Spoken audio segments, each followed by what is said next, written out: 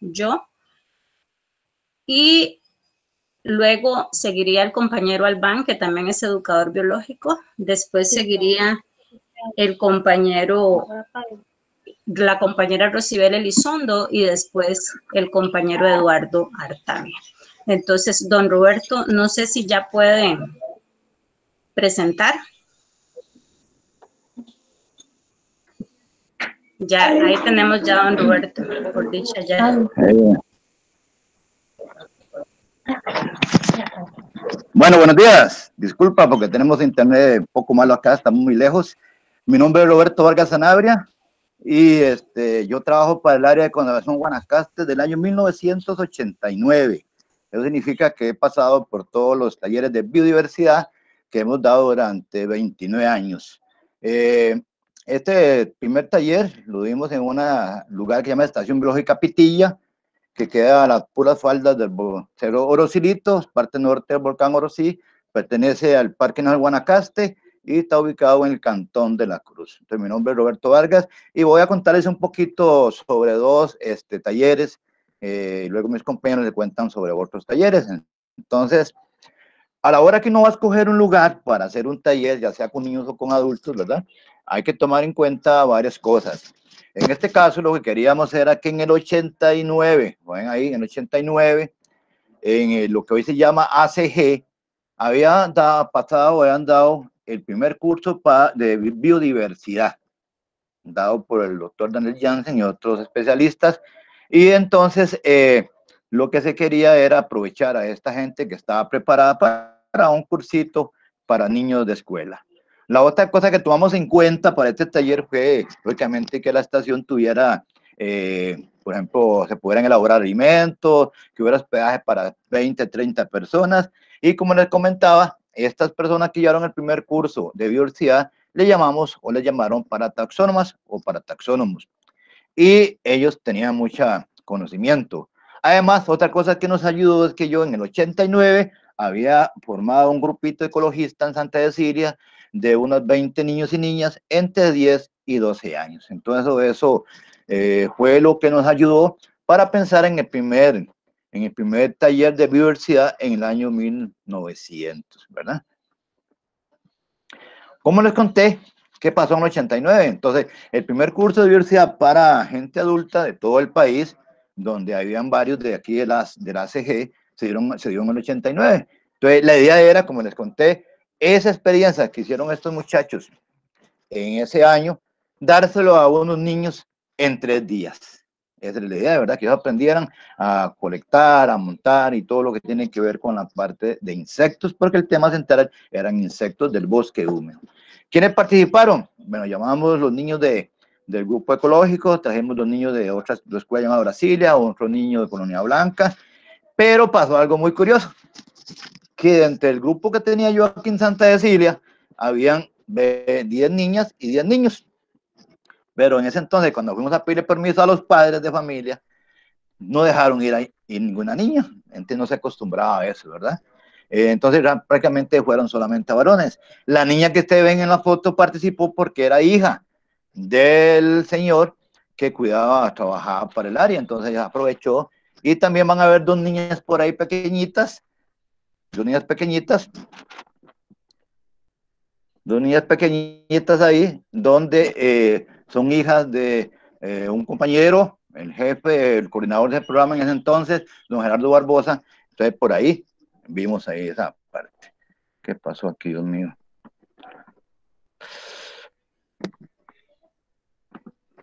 Está presente. ¡Yancy! Dios mío.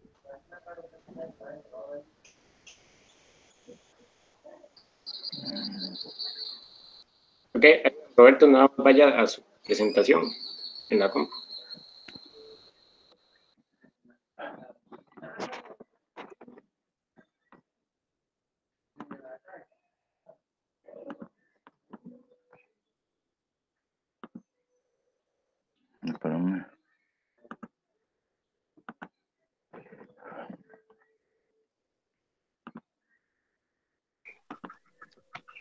De nuevo. ¿Me escuchan? Excelente. Adelante, don Ok. Ok, disculpen. Entonces los que participaron fueron niños de, de la comunidad Santa Cecilia, Brasilia y Colonia Blanca, allá en Upala, y le contaba que esa vez este, el problema que la niña no dejaron salir, ir a, la, a este taller, entonces participaron 10 niños y una niña, y ese taller, primer taller A, se realizó hace 30 años. Para hacer un taller como este y los demás que vinieron hasta el año pasado, pues hay que coordinar con el Ministerio de Educación, ¿verdad? Hay que tener permiso de los familiares, papá o mamá o encargados. Algo muy importante son las pólizas. No podemos sacar niños de una escuela y llevarlos a un lugar como este, donde hay culebras y otras cosas, sin alguna póliza que la paga el Estado, en este caso. Eh, el primero llamó curso corto de biodiversidad para escolares, pero luego con el tiempo vimos que era bastante complejo, entonces le pusimos taller de biodiversidad, como se llama ahora. ¿Qué niños van a estos talleres desde el 89 hasta ahorita? No es cualquier niño que puede ir o niña, ¿verdad? Tiene que ser niños que, por ejemplo, tienen que reunir tres condiciones. Uno, que sea un niño o una niña eh, con notas buenas en la escuela, no cienes, pero con notas buenas, ¿verdad? La otra es que sea un niño o una niña que vaya a las giras educativas que nosotros eh, damos. Y este, la otra es que lógicamente tienen que portarse muy bien en las casitas para que sus papás les den permiso. Para estos talleres, desde que empezamos nosotros, ¿verdad? Estos talleres siempre invitamos especialistas dependiendo del tema, ¿verdad? hemos tenido a otros Janssen, a otra especialista en ganas, especialista en serpientes, en, especialista en arácnidos. La idea es traer gente que conozca muy bien el tema para que sea más atractivo. Una noche de tortura le puso un compañero de Orlando Vega. Eh, esto es que la segunda, el segundo día, como son tres días, ya el segundo día estamos un poco cansaditos todos, ¿verdad? Entonces agarramos ahí después de las 8 de la, de la noche, ¿verdad? Eh, repartimos cafecito, fresquito, ¿verdad? Y a veces damos hasta palomita de maíz como para desestresarlos después de dos días de trabajo. Y eh, otra cosa muy importante, que este taller ha sido continuo durante 29 años. Este año cumplimos los 30, pero como ya sabemos, todo por la pandemia, pero se va al virtual. Entonces, ya están invitados para el otro mes en julio. Vamos a tener taller virtual sobre el... Ok, las tejas de mediación. Ven ahí que las fotos es foto y una foto que se sacaron hace 30 años, por lo tanto el color no es muy bonito, ¿verdad? Pero por lo menos se ve. La primera diapositiva tiene que ser muy importante porque es lo que llamamos la, la actividad de presentación, dinámica de presentación. Aquí los niños y las niñas se presentan su nombre, cómo se llaman, de dónde vienen y cuáles son las expectativas que esperan ellos del taller que van a tener. Después de eso, se reúnen en la sala y se da una charla, en este caso la charla fue sobre insectos, ¿verdad? Que era el tema central. Ahí vamos anatomía, fisiología, clasificación, y luego viene lo más bonito, salir al campo. Los niños les gusta mucho salir al campo y aquí eh, utilizamos redes para capturar mariposas, como ven ustedes, y es una técnica que pareciera sencilla, pero cuesta, hay que aprender a, a coger o a, a, las mariposas, porque la idea es, es capturarlas sin dañarlas, ¿verdad? Para observarlas y luego se suelta, o si no, pues lo llevamos para la sala, porque viene la otra técnica, que es enseñar a los niños, ¿verdad?, a montar. Ahí vemos una compañera, Petrona Ríos, que fue una de las parataxonamas, ¿verdad? Todavía trabaja en la Estación Biológica Capitilla junto con su esposo, Calixto Moraga, y ahí estábamos enseñándole a los niños, ¿verdad? Cómo montar mariposas en las respectivas tablitas con sus cositas bien, bien, bien bonitas, ¿verdad? Ahí está Petrona ya en actualidad. Ella siempre que vamos a las giras educativas a este sector siempre nos ayuda con explicando la metamorfosis de las mariposas, ¿verdad? Y ellos siempre nos ayudan, igual que todos los parataxónomos en todas las estaciones, siempre están anuentes a ayudar. Esta es una actividad muy linda. Ahí sale don Roger Blanco, que ahorita es el coordinador de investigación de la ACG, pero esta actividad fue lo más linda porque eh, es nocturna. Y entonces los niños se prepararon con sus botas, sus polainas, algunas botitas de cuero que les ponemos para evitar cualquier mordedura de serpiente, eh, buen abrigo, pues es muy frío acá, es un frío, estamos a 700 metros, casi a la falda del volcán Orsí, con su linterna, pero ya los compañeros se han ido antes. Cuando empezamos a caminar, los niños decían, pero profe, se está quemando el bosque, porque se veía ahí arriba, se veía una luz. Y conforme nos íbamos acercando, más luz y más luz.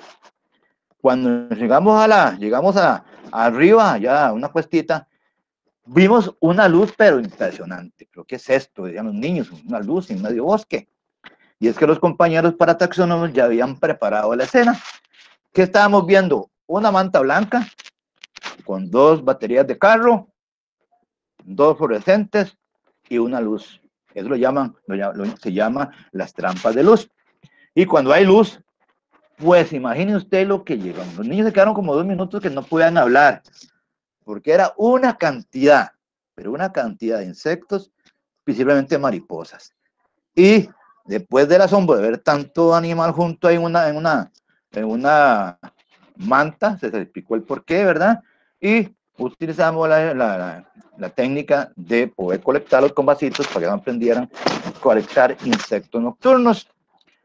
Luego de eso, igual nos fuimos a la, nos fuimos a la, nos fuimos a la, a la estación y ahí, este, otra vez, aprendieron o afinaron las, las, las, la técnica de montaje, ¿verdad? Sobre insectos, que era el tema principal.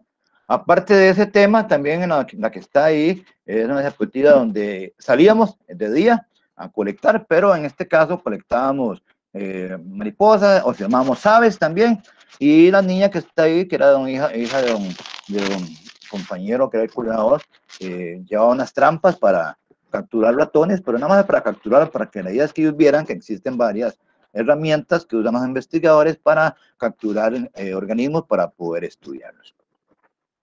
Esa es la foto del grupo. Eh, el grupo que juega al, primer taller de biodiversidad, lógicamente eso después de 30 años, ya son todos unos muchachones, ¿verdad? Eh, de los que están de pie, el número 4, el número 4 es Don Duvalier. Don Duvalier este, trabaja actualmente como parataxónomo, trabaja con el doctor Jansen. Y el número, el número 4, que están agachaditos, él se llama Don Diego, ¿verdad? Y él ahorita va a hablar un poquito sobre el programa. Ahí tenemos a Duvalier, ya grande, trabajando como para taxónomo, ¿verdad? Tenemos otra foto aquí de él, eh, con cámara, con compu y todo lo que hace un parataxónomo aquí en el área de conservación Guanacaste. Este es don Diego. Él tenía un mensaje para ustedes, pero no, no, Ok, eh, don Roberto, si gusta, cuando termina su presentación le, le damos play al video para que le dé Ok. Ok, después de este primer taller, como les dije anteriormente, fue consecutiva. Todos los años hicimos talleres. Entonces, vino el del 1991, 92, 93, 94, hasta llegar al 2005, que les voy a contar. Este lo hicimos en otra estación que tiene el parque el área con Guanacaste, que también está en el parque de Guanacaste, a las puras faldas del volcán Orosí. Esta estación es importante porque en el 89 habían inaugurado la estación y hicieron un laboratorio muy grande y muy bonito sobre, para estudiar los insectos acuáticos como bioindicadores de aguas sanas, aguas enfermas. Entonces aprovechamos que ahí estaban las instalaciones, ¿verdad? Y entonces le pusimos a ese taller el nombre de invertebrados basados en insectos y arañas. Ellos tenían que poder diferenciar los, los artrópodos, ¿verdad? Y más que todas las arañas. y el otro tema que iba paralelo a él era el manejo de los residuos, las 5 R's, en este caso los enfocamos en el reciclaje, ¿verdad? Entonces, iban dos temas paralelos. El primer, este grupo, ven la diferencia de este grupito, ya aquí son 28 estudiantes. Vean qué interesante, el programa se ha ganado mucha confianza a través del tiempo y ya los papás, las mamás o los encargados legales ya dejan que las niñas vayan a estos talleres. Vean ahí, 28 estudiantes, 14 niñas y 14 niños. Qué bonito, ¿verdad? Ya, ya estamos parejos. Hemos tenido talleres que van más niñas que niños. Es un dato interesante y eso es porque el programa se ha ganado, se ha ganado la confianza. En este taller ya no eran tres escuelas como en el 1900, ya 20 escuelas de los ecosistemas más conocidos en el ACG, que es el bosque húmedo, tanto aquí por, la Cruz Guanacaste como allá por la parte de Upala, todo lo que es bosque seco, ¿verdad? Y participaron también escuelitas de la zona costera. Como le conté, el, el, la idea era que dos, dos, dos, dos, temas paralelos. Uno que era sobre invertebrados, realmente artrópodos, pero realmente insectos y arañas.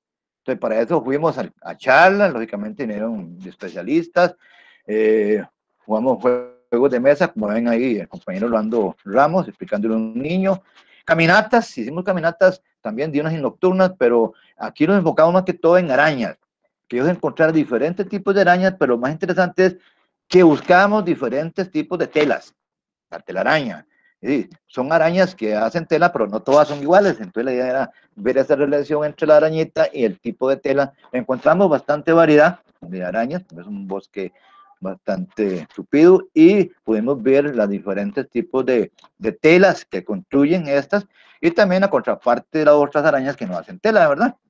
Recolectamos algunos, algunos especímenes porque la idea era observarlos bien, ver la diferencia entre ellos visualmente, ¿verdad?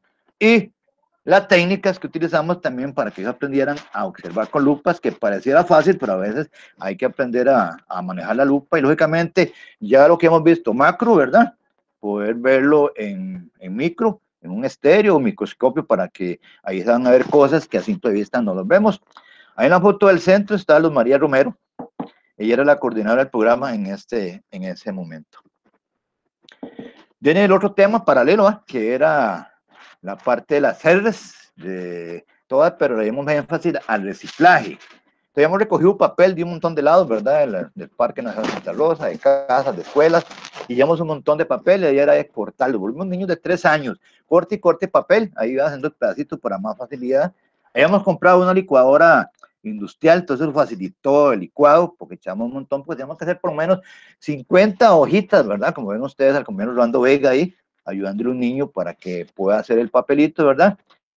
Y pues con una esponja se seca y luego lo demás lo hace nuestro rey sol, que es poniendo afuera para que seque porque fue en abril y en abril había bastante sol, ¿verdad? Entonces esa práctica fue muy bonita porque ellos aprendieron muy atractiva eh, a hacer papel, reciclar, ¿verdad? De algo que supuestamente ya íbamos a votar. ¿Qué era la idea con esto? Y aquí unimos los dos, los dos factores. La idea era que ellos lo que han observado en artrópodos, insectos, arañas, lo llevaran a algo más especial, que era dibujar, técnica de acuarela o cualquier técnica, o hacer lo que ellos quisieran, ¿verdad? O hacer, pudieron hacer también eh, moldes para títeres con el papel que habíamos reciclado. Y salieron, ellos puedan dibujar lo que quisieran, ¿verdad? Pintar lo que quisieran. Ellos, algunos hicieron, ¿verdad? Como, estamos viendo una parte, un paisaje, otros dibujaron un anfibio, dibujaron un insecto, pero la idea era que ellos lo que habían observado en el campo lo plasmaran ahí en ese papel que ellos mismos habían reciclado. Lo bonito es que ellos mismos lo hicieron, ¿verdad? Eh, después, para, porque cada uno tenía sus su trabajitos, pero era bonito que todo el mundo lo viera. Entonces hicimos un mural, como ven ahí en la foto, un mural bien lindo, donde cada uno pegó con su nombre, ¿verdad? Ahí para que todos pasáramos a observar. Ahí tuvimos varias horas eh, observando todos los dibujos, ¿verdad? Esto era muy importante para nosotros los educadores, porque así podamos saber el grado de comprensión que ellos han captado durante estos tres días. Y para, perdón, para finalizar, tuvimos la idea de que como ellos eran estudiantes de diferentes escuelas muy largas, ¿verdad? que unos eran de Fortuna Bagaces, otros de La Cruz, otros de allá de Nicoya, Nicoya perdón, por, por Pagallo. Entonces la idea era que eh, intercambiaran su arte. Entonces un niño de, la Cruz eh, cambió su arte con un niño de, que es de la Fortuna. Y entonces la idea es que cada uno, cada uno se llevara un recuerdo de ese taller y un recuerdo de un compañero. Y ahora ya es otro modo, ahora son teléfonos, un montón de cosas, pero en ese tiempo no había. Entonces, esa fue la iniciativa, que cada uno se llevara un recuerdito, un recuerdito. Muchas gracias. Eh, ese es mi correo. Esa es una foto de la estación biológica Pitilla, en lugar muy frío, ¿verdad? neblina, lluvia. Entonces, eh, les agradezco mucho y cualquier preguntita estoy a la orden.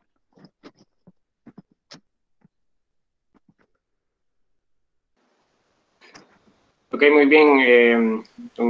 Eh, le, pasamos el video corto. ¿Está bien? Ok, ocupamos que deje de presentar para para compartir.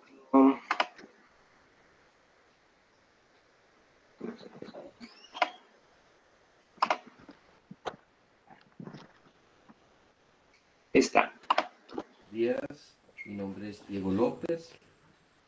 Fui uno de los afortunados en participar en el grupo de PEP, Programa de Educación Biológica. Eh, nuestra primera gira eh, fue a Estación Pitilla. Eh, esos tres días que fuimos fue algo grandioso, muy lindo, cosa que hasta la fecha aún todavía me, encantaría volver a ir. Eh, fue mi primera vez que pasé solo, digámoslo así, con un grupo de, compañeros, de alumnos, de estudiantes de escuela primaria. Eh, por cierto, la primera noche, bueno, desde el primer día que, salimos a caminar, a andar en los senderos, salimos, pues fuimos de aquí en una safari, si no me equivoco, fue algo grandioso.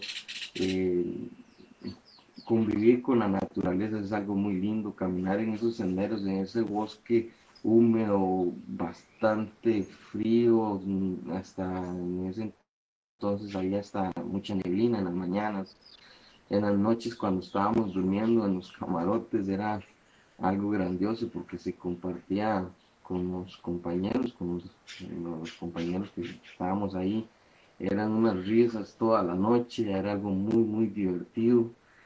Eh, en las mañanas nos levantábamos temprano, temprano, antes de la hora, incluso hay veces para salir a ver el amanecer, la neblina, es algo muy, muy lindo, es muy divertido, aprendimos a montar, eh, bueno, a cazar las mariposas, a montarlas, a disecarlas para los estudios respectivos, insectos, eh, es algo muy, muy divertido. Eh,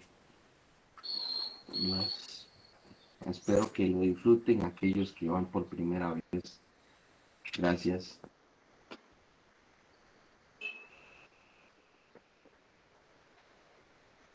Estamos, don Roberto.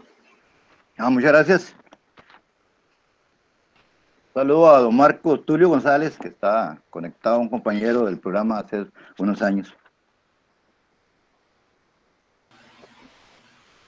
Este, bueno, vamos a ver si alguien de la audiencia tiene eh, alguna pregunta a lo que presentó don, don Roberto Vargas, pues esta es la oportunidad de hacerla, si no pasamos a la siguiente charla con don Rolando Ramos.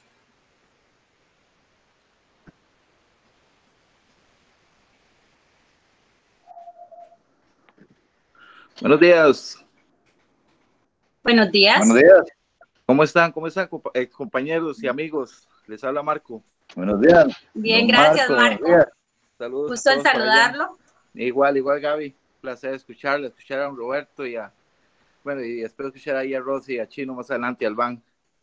Eh, no, más que todo, este, eh, aquí eh, con sentimientos encontrados, la verdad, súper emocionado de ver, ahí vi una foto donde, que Don Chuti presentó, donde estaba ahí, y me trajo muchos recuerdos, y me siento orgulloso de haber formado parte de, de, lo que es el equipo PEP, este, felicitarlos, porque la verdad que, uff, la verdad que súper lindo, la verdad. Eh, y no, este, eh, para todos los que eh, no conocen mucho el programa, este, eso es, una, es un buen momento para que, para que vean qué es lo que hace el programa, ¿verdad? Por, por, por la conservación y que, y que no, todo bien, este, súper emocionado Gaby, este, un saludo a la distancia y aquí estoy.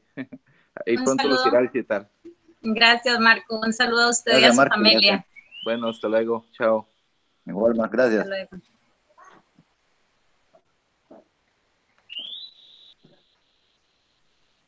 Rolando, tal vez se va, preparando para su presentación. Parece que ya no hay más intervenciones. Ok, buenos días. Eh, así como pensaron mis compañeros, yo soy Rolando Ramos. igual que compañero Roberto, este, formamos parte de eh, del PEP, ¿verdad? Ya tenemos eh, bastante tiempito de estar eh, en estas labores.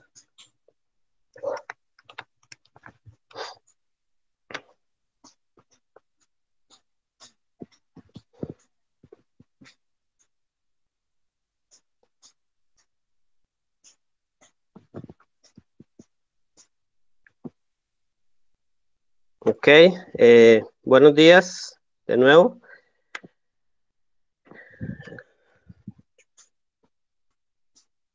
Un momentito.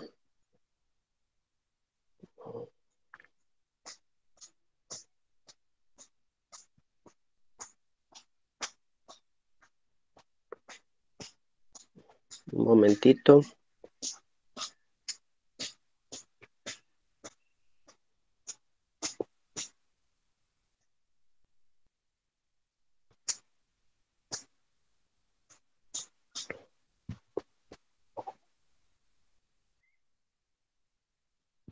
Ok, ahora sí, estamos. Eh, mi nombre, como les dije, Rolando Ramos, eh, soy parte del equipo eh, que trabaja en PEP y este, a mí me toca contarles en cuanto a las estrategias de mediación y rememorar, rememorar, un poco sobre talleres que hemos tenido a través de este tiempo. En primera instancia, me toca hablar un poco sobre el taller de biodiversidad del 2007, eh, que nos tocó visitar, bueno, trabajar en dos, lugares distintos. Eh, uno es el Parque Nacional Santa Rosa y el otro es el Refugio Nacional de Vida Silvestre Bahía Junquillal. El tema como tal del taller era conociendo el mundo marino. Eh, en cuanto a este tema, bueno, habían varias actividades, pero principalmente este, me toca reforzar un poco sobre los laboratorios. En este caso, para este año hicimos un laboratorio que lo llamábamos eh, laboratorio La vida oculta en los charcos del bosque seco. Como estábamos trabajando en Santa Rosa parte del día y después eh, en el refugio de vida silvestre, pues eh, para conocer un poco sobre vida que hay debajo del agua, entonces hicimos un pequeño análisis de charcos en el bosque seco. Entonces, en este caso, eh, los laboratorios son eh, estrategias que nos sirven como apoyo visual. En este caso, eh, porque el elemento agua, ¿verdad? Y todo lo que hay debajo es un poco difícil de observar. Entonces nosotros trabajamos por equipo que hemos conseguido a través del tiempo. En este caso tenemos ahí una foto de un, de un estudiante viendo este, en una gota de charco que había ahí y se podían ver ciertos microorganismos en movimiento y la herramienta era importante. Eh, este apoyo visual es para también todo lo que estamos viendo con respecto a el tema de trabajo. Esa tecnología en muchos centros educativos es casi que un acceso nulo, ¿verdad? Hay muchas escuelas públicas que no tienen este equipo. Algunas tendrán uno por ahí que tampoco es, eh, su uso no es muy frecuente debido a que eh, son muchos los estudiantes, ¿verdad? Igual nosotros tenemos la limitante, aquí en esta mesa pueden ver eh, que tenemos dos, tres compañeros ahí y una compañera compartiendo el uso de un microscopio. Entonces, pero igual es un material que lo usamos en las actividades. Los laboratorios no tienen que ser todo el día, el laboratorio es básicamente un periodo de una hora o un poquito más, dependiendo del tema, ¿verdad? Porque es para apoyar los contenidos que hemos visto en clase. Acá me apoyo con una, eh, una fotografía de una mesa preparada para, ese es de otro taller, ya de, otra, de otro año, pero igual enfocado a un tema. Y lo que tenemos en esa mesa no son microscopios, sino que son ya estereoscopios, otro equipo que también nos ayuda a ver lo que queremos, eh, ampliarlo 10 eh, veces más para apreciar los detalles.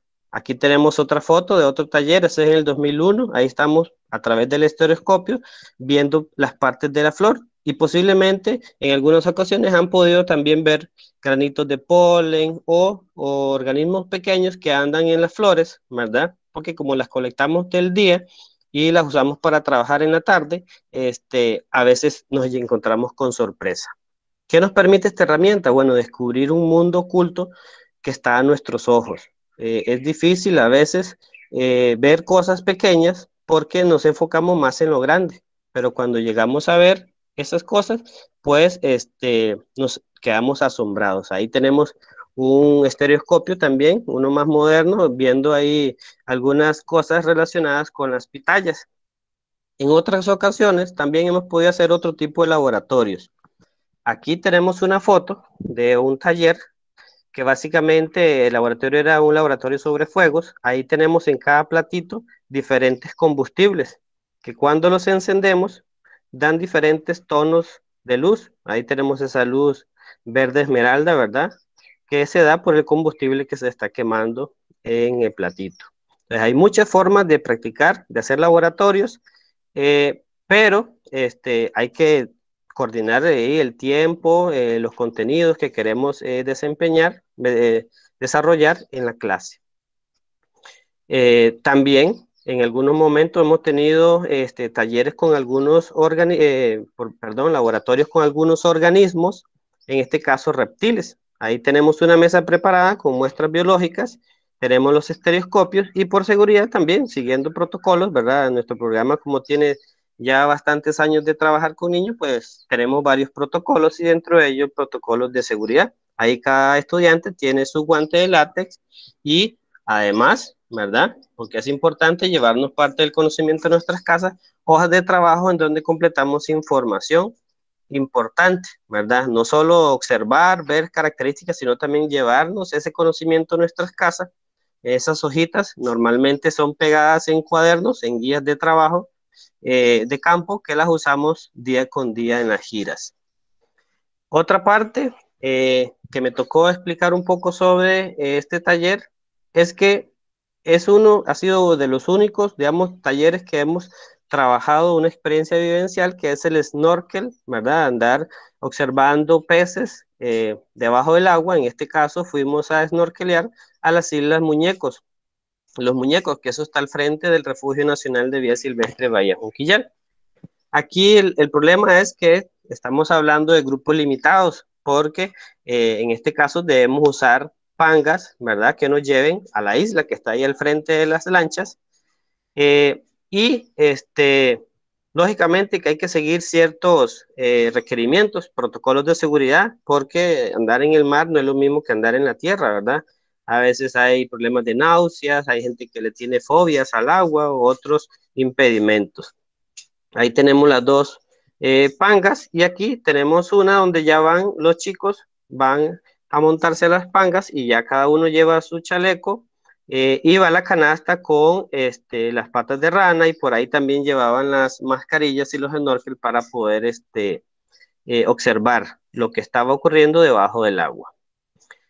Cuando tenemos la oportunidad de este, hacer este tipo de actividad, que es una experiencia este, realmente que marca la vida a veces en los chicos, eso es una, eh, tenemos un mundo excepcional, ¿verdad? El mar debajo del agua este, está siendo descubierto, estamos descubriendo nuevos organismos y cuando llegamos a ese momento, posiblemente a alguno le va a quedarse espinita por aprender más del mar.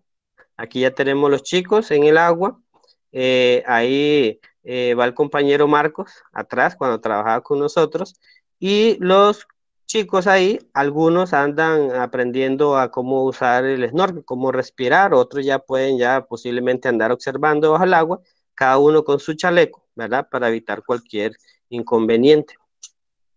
Eh, para este tipo de actividad sí necesitamos, en la medida de lo posible, este, buscar colaboradores, ¿verdad? Colaboradores, colaboradores que nos permitan este, sufragar necesidades de lancha, eh, Aquí en esta foto tenemos eh, dos compañeros eh, que nos colaboran, que son muy buenos trabajos de campo, eh, son este, compañeros de la comunidad de Cuajiniquil, que se, este, nos colaboran en, esas actividades. Además, en este taller del Conociendo el Mundo Marino, se hizo un festival, del último día un festival marino, que tenía varios espacios de esparcimiento, espacios para que los chicos, en este caso tenemos tres compañeros ahí, que están haciendo escultura en la arena, están representando el desove de tortugas. Ahí tenemos eh, cuatro tortugas con sus respectivos huevos ahí en la arena y esos espacios son importantes porque nos ayudan a despejar la mente, nos ayudan a, refrescar la memoria para lo que sigue. Acá tenemos este, la foto de otro taller, en este caso estaban eh, haciéndose un partido ahí mixto, ¿verdad? Porque siempre eh, vamos a eso, que tanto hombres como mujeres eh, pueden practicar las mismas actividades. Entonces son importantes porque nos ayudan a compartir con los demás participantes. Eh, claro, tenemos que estar pendientes de la seguridad, ¿verdad? De que no haya juego brusco o eh, cualquier cosa que pueda interferir con el desarrollo de la, de la actividad. Nos permite también cada actividad de estas hacer actividad física para que los chicos también se relajen, pongan en movimiento su cuerpo, suden un poco, quemen energía y este, hagamos un poco más esta vida activa y no tan sedentarios como este, se está haciendo por el uso de mucho la tecnología. Acá tenemos, esta es una foto del taller de ese, del 2007, en donde una de esas actividades del festival, bueno, era ejemplificar una pirámide alimenticia. Ahí estaban eh, tratando de, formar la pirámide y divirtiéndose un poco. Esta foto que tengo aquí al fondo, están, todos los eh, que participaron en ese momento. ¿verdad? Y cada uno lleva una camiseta del Refugio Nacional de Vida Silvestre Bahía Junquillal. Haciendo memoria un poco, otra vez, este, vamos al taller de biodiversidad del 2011.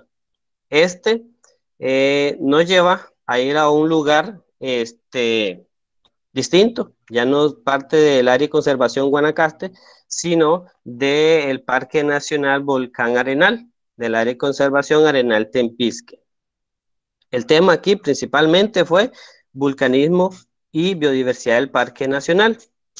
Y eh, principalmente vamos a tocar acá el tema de la coordinación. En este caso nosotros estamos siguiendo a otra área de conservación, entonces hay que coordinar, hay que coordinar no solo el transporte, sino hospedaje, atención, ¿verdad? Investigadores y todo lo demás con otra área de conservación como dijo mi compañero Roberto, bueno, hay que, tenemos que dar una coordinación con las escuelas. Aquí tenemos una foto de una coordinación que se está haciendo con las escuelas, en donde va cronograma, actividades y todo lo demás relacionados a estas actividades de educación. En cuanto a la coordinación eh, con el área de conservación, pues también tenemos que coordinar con el programa específico. En este caso tenemos el programa eh, de educación ambiental con el compañero Eric, del volcán Arenal, que fue el que nos atendió en ese momento.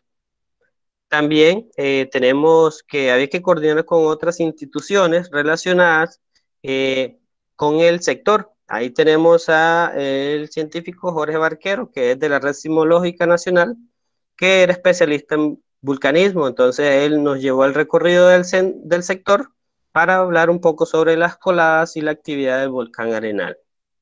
En algunos momentos también hay que coordinar con emprendedurismo, con negocios locales. Aquí tenemos una emprendedora de la zona, ¿verdad? Que le está explicando sobre el proyecto eh, a los estudiantes.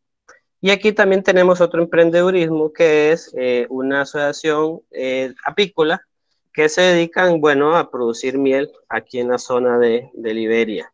También hay que coordinar con, con esas personas para este, los detalles de la atención del grupo. Bueno, esa es una foto de ese taller de, biodiversidad del 2011. Es una de las caminatas nocturnas que hicimos. Ahí pudimos encontrar varias especies de, ranas, de los cuales los estudiantes eh, tuvieron la dicha de, ver y que andábamos con un, un, investigador de especialistas en anfibios y reptiles. Esta es la foto grupal de todos los los que participaron en ese taller. Muchísimas gracias. Eh, cualquier pregunta o consulta este, por este medio o si no al correo también que está ahí en la, en la primera diapositiva.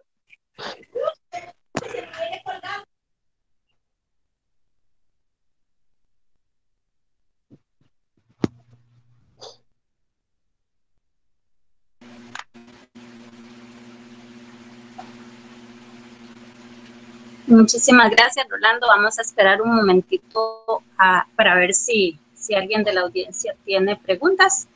Y si no, pasaríamos a presentar lo que me corresponde acerca de los talleres.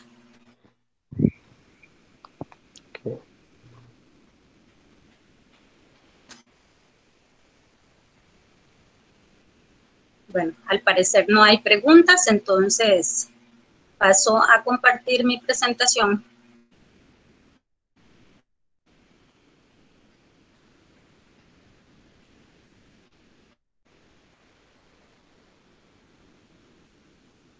Eh, espero que me estén escuchando y que se vea bien la presentación. Como les dije anteriormente, mi nombre es Gabriela Gutiérrez y actualmente coordino el programa de educación biológica. Ahí en la pantalla mi correo electrónico por aquello de que tengan alguna duda sobre las técnicas o metodologías que voy a presentar.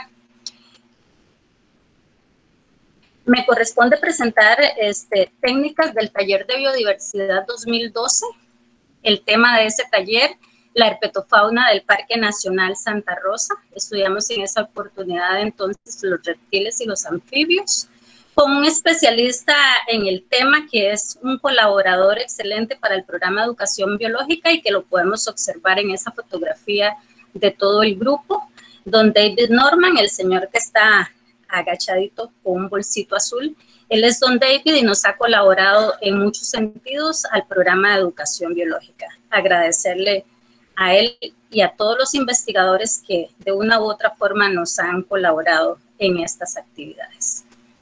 Eh, Eduardo me va a colaborar este, poniendo el videito de este niño que estudia, estudió en la Escuela Pacífica García este, y que nos cuenta acerca de la expectativa que él tiene del taller de biodiversidad 2012. Entonces, Eduardo, voy a dejar de presentar para que usted me, me colabore con el video.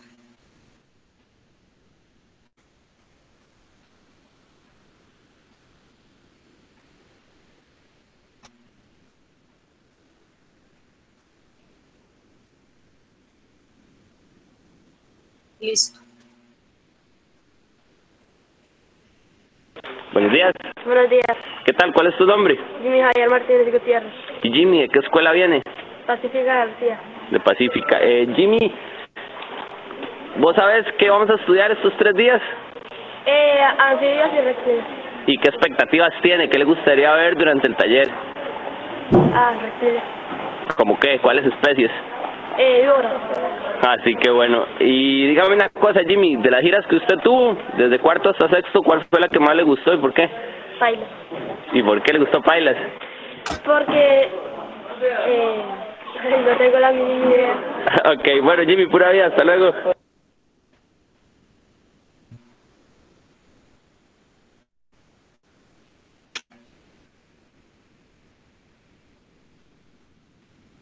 Muchas gracias, eh, Eduardo, por ese apoyo que me acaba de, brindar. Esa es la expectativa que tenía este niño que participó en ese taller 2012. Continuando con, con lo que es las metodologías de trabajo, me toca presentar lo que corresponde a trabajo en grupos. Los objetivos para hacer un trabajo en grupo es promover valores, promover un sentido de investigación, un sentido de exposición, y de análisis de un tema. Eh, primeramente se conforman los grupos. En este sentido, para facilitar las cosas, nosotros lo que hemos hecho por, experiencia es que entregamos al inicio del taller un gafete y ese gafete está relacionado con un dibujo o una imagen que tiene que ver con el tema. En este caso, ustedes observan en la imagen eh, fotografías de diferentes reptiles y anfibios que nos van a ayudar a formar cuatro grupos diferentes que van a estar trabajando durante todo el taller.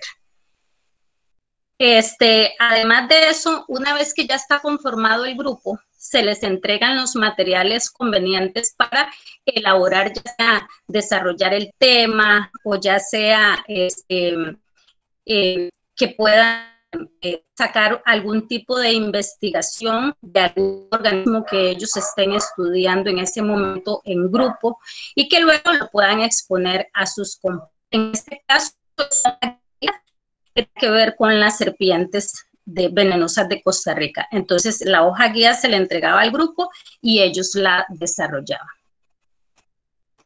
Siempre, en todo momento, debe existir en esta técnica de trabajo en grupo el apoyo de parte de las personas que estén liderando el proceso, en este caso de parte de los educadores y educadoras del programa, y también los especialistas en el tema que nos están apoyando en esos trabajos en grupo, este, tienen un papel fundamental. Ellos no dejan de participar en los diferentes grupos, se van rotando y van ayudándole a los estudiantes si ellos tienen alguna duda o si tienen alguna pregunta para ellos que sea muy específica. Estos grupos se pueden desarrollar en diferentes eh, sitios. A veces nos toca trabajo en grupo, en el caso de, esta fotografía, en, en, un laboratorio o en el aula. Es en el aula, pero también tenemos trabajos en grupo en el campo. Qué yo, si hacemos una caminata de trabajo en la mañana, entonces este, esos mismos grupos que ya están formados, eh, si encontramos algo referente, en este caso a reptiles y anfibios, una charca, digamos, que tenga el canto de unas ranas, entonces los estudiantes pues realizan diferentes actividades en grupo que ya están debidamente planificadas. Y con todo su material es muy importante también preparar el material muy eh, anticipadamente y con tiempo para saber qué es lo que se necesita para ese trabajo en grupo. También me corresponde explicar dos técnicas de trabajo del taller de biodiversidad 2013. El tema de este taller fue cambio climático, causas, consecuencias y posibles soluciones. Ahí podemos observar el grupo que participó en ese momento. Este, esta fotografía fue tomada camino a la estación biológica Cacao, una estación que ahorita está dedicada especialmente a la investigación. En ese caso, este, trasladamos el grupo allá, tuvimos la experiencia de, participar con otros compañeros de otras instituciones, como por ejemplo, doña Gladys Jiménez del Instituto Meteorológico Nacional, don Pablo Camacho de la Fundación Aves Rapaces de Costa Rica, igual un saludo cordial a ellos si nos están escuchando. Y este, en ese caso, pues nos trasladamos allá y los trabajos en grupo se hicieron allá correspondiendo al tema de cambio climático. En este caso, les voy a explicar un poco eh, la actividad Cada Gesto Cuenta.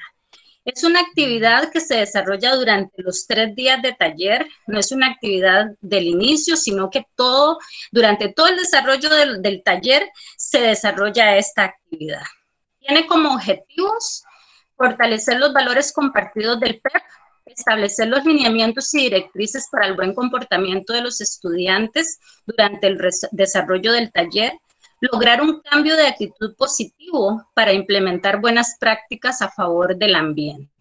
Ahí observamos una fotografía en donde se les está explicando desde el primer momento cada gesto cuenta y cuáles reglas son las que van a estar este, desarrollándose durante el taller y cuáles son las recomendaciones.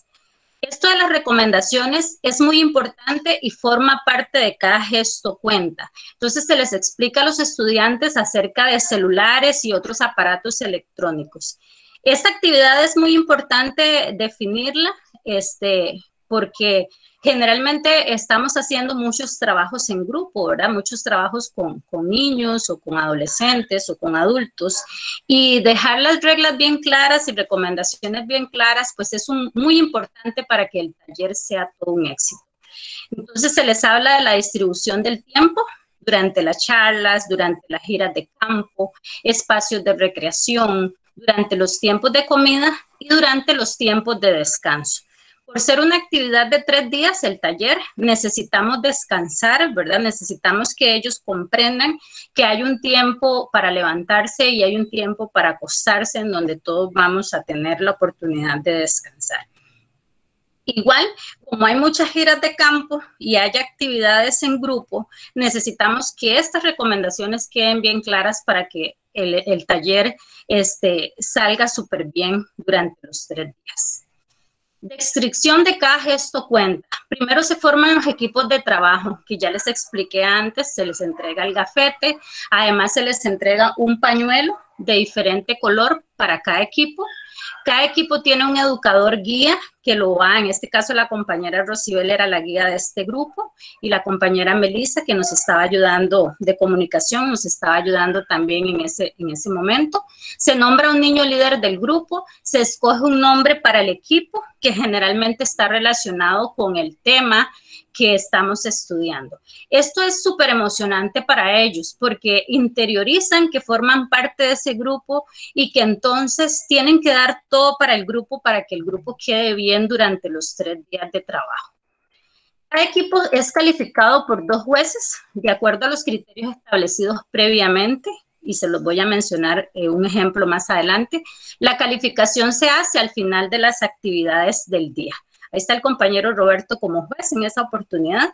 Se toman en cuenta los criterios de evaluación porque se, se, se califican cinco valores. Uno de los valores que se califican es el trabajo en equipo. Ahí ustedes pueden observar este, los elementos que calificamos en ese caso. Innovación, eh, el otro que se califica es la creatividad, y ahí vienen los elementos que se califican, tomando en cuenta el 1 como lo, menos frecuente y el 5 lo más frecuente, o sea, lo que requerimos que este, desarrolle el equipo de trabajo. Entonces, estos criterios de evaluación están para cada uno de los valores, de los cinco valores que se califican. Cada equipo, según su comportamiento y a la calificación de los jueces, se gana un banderín relacionado con el valor. Entonces, si este, el grupo sobresalió en el valor respeto, ellos se ganarían este, un banderín de color gris. Si sobresalió en amor por la naturaleza, se ganarían un banderín de color verde y así sucesivamente. Entonces, son cinco valores los que se promueven, cinco valores que se, que se necesita que se desarrollen durante los días del taller. Ahí está una fotografía de niños que ya al final del día se ha calificado y se han ganado un banderín cada grupo. A veces hay un grupo que se gana dos banderines, a veces hay un grupo que se gana tres y habrá algunos que no se ganan ninguno. Entonces, para el siguiente día, pues ellos están con más emoción y más energía para ganarse los banderines. Vieras que es una, es una buena estrategia de mediación para mantener el orden durante los tres días y para mantener las reglas bien claras y el comportamiento más adecuado.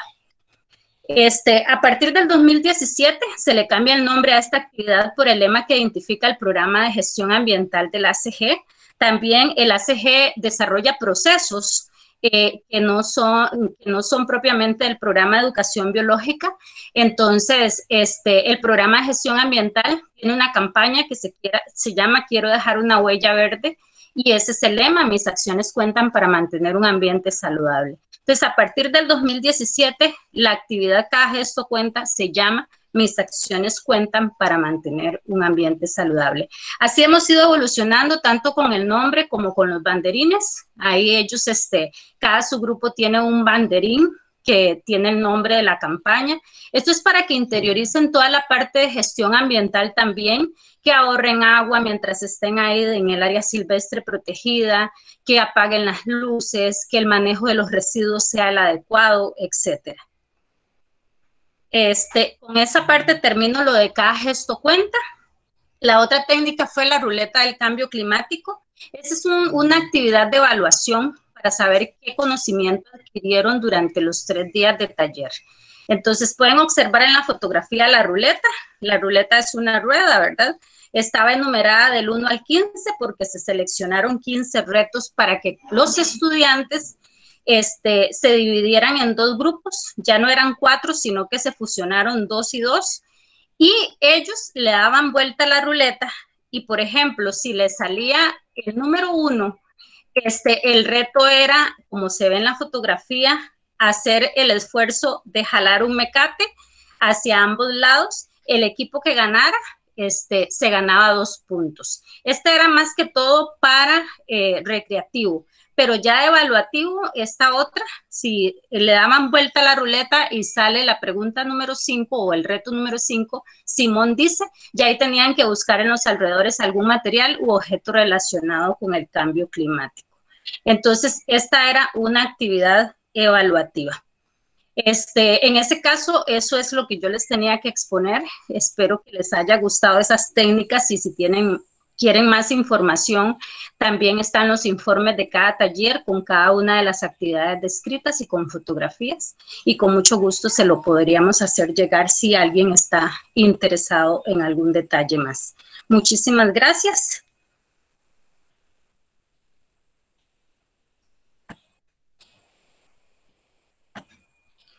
Dejo de presentar para si hay alguna pregunta, alguna duda, con mucho gusto estoy para servirles.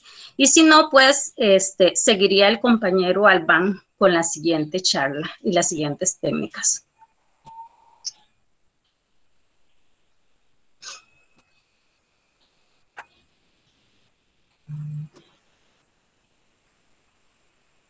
Albán puede irse preparando.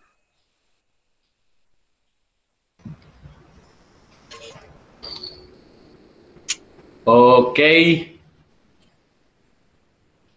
Hola, buenos días. Mi nombre es Albán Jiménez. Yo, igual que los demás compañeros, trabajo en el programa de educación biológica en los últimos años. Y bueno, yo quiero darles gracias por estar aquí presentes en, en este ciclo de charlas. Y me parece que son personas que entonces están interesadas en esta parte de alfabetización biológica de las personas, que es muy, muy importante en, en el desarrollo de una sociedad voy a intentar proyectar ahora.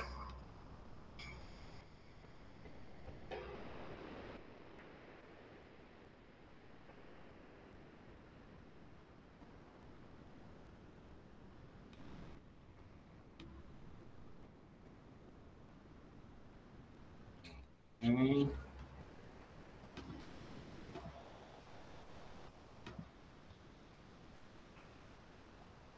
Ok, espero que se vea bien. Vamos a ver si me confirman los compañeros si se ve bien. Ok, perfecto.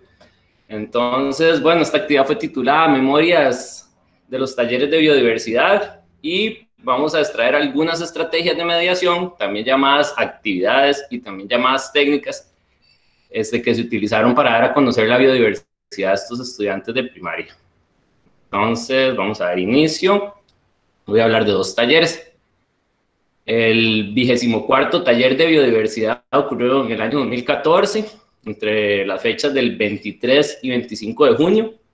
El nombre de este taller se llamó el Refugio Nacional de Vida Silvestre Ostional y ocurrió en la ocasión de la playa Ostional, que eso es en el cantón de Santa Cruz de la provincia de Guanacaste, dentro de la jurisdicción del área de conservación Tempisque. en esta ocasión llevamos los estudiantes desde ACG hasta el área de conservación Tempisque en esta actividad participaron 33 estudiantes, 15 eran niñas y 18 eran niños y venían de 17 diferentes centros educativos. Esta es una fotografía que tiene la memoria del taller o que es eh, donde vienen los participantes. Y bueno, podemos ver que hay algunos compañeros del área de conservación Tempisque y les agradecemos si nos están escuchando porque sin el apoyo de ellos no hubiera sido posible realizar este taller. También podemos ver en la foto que utilizamos tortugas marinas o utilizamos figuras de tortugas marinas hechas en cartón y pintadas a escala por el caso de que no llegáramos a ver las tortugas en el refugio o que no llegáramos a ver otras, otra especie de tortuga marina, porque la más común es la lora, ¿ya? entonces hicimos las cuatro especies de tortugas que habitan en el Océano Pacífico y, ponen sus huevos en estas playas bueno, en cuanto a las memorias del taller, yo les quiero contar una memoria que yo tuve. Este, vamos a ver, cuando se hace un taller de biodiversidad, los estudiantes salen tres días de la casa y durante la noche uno comparte la habitación con algunos estudiantes. Esto con el motivo de mantener el control y vigilancia. bueno, recuerdo haber estado en la mañana de, de uno de estos días del taller, en la madrugada, y pasó alguien gritando por la calle, ¡ay, flota, ay, flota! Y como activando un silbato. Entonces, en ese momento yo desperté a los estudiantes y dije, vamos a la playa. Y para nuestra sorpresa estaba ocurriendo una arribada. Y bueno, esto fue una memoria que quedó en mi mente y fue algo bonito y una experiencia única y repetible para estos estudiantes poder ver las tortugas haciendo ese proceso biológico de anidación. Ok, es una memoria muy bonita. Vamos a pasar a ver algunas estrategias de mediación extraídas de esa actividad que duró tres días. Entonces, una se llamó la cartera de conservación, la cartera de proyectos de conservación de tortugas marinas. Y esto tenía como objetivo valorar la importancia de los proyectos de conservación y de playas para las tortugas marinas, además de dar a conocer organizaciones no gubernamentales relacionadas con la conservación de las tortugas marinas. Entonces vamos a ver cómo se desarrolló la actividad. Esta actividad se desarrolló dividiendo el, el equipo de estudiantes en cuatro subgrupos.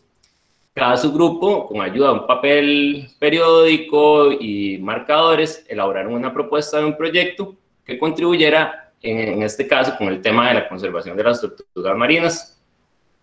Cada propuesta se presentó ante diferentes ONGs y ustedes podrían preguntar, bueno, ¿quién eran esos, esos ONGs?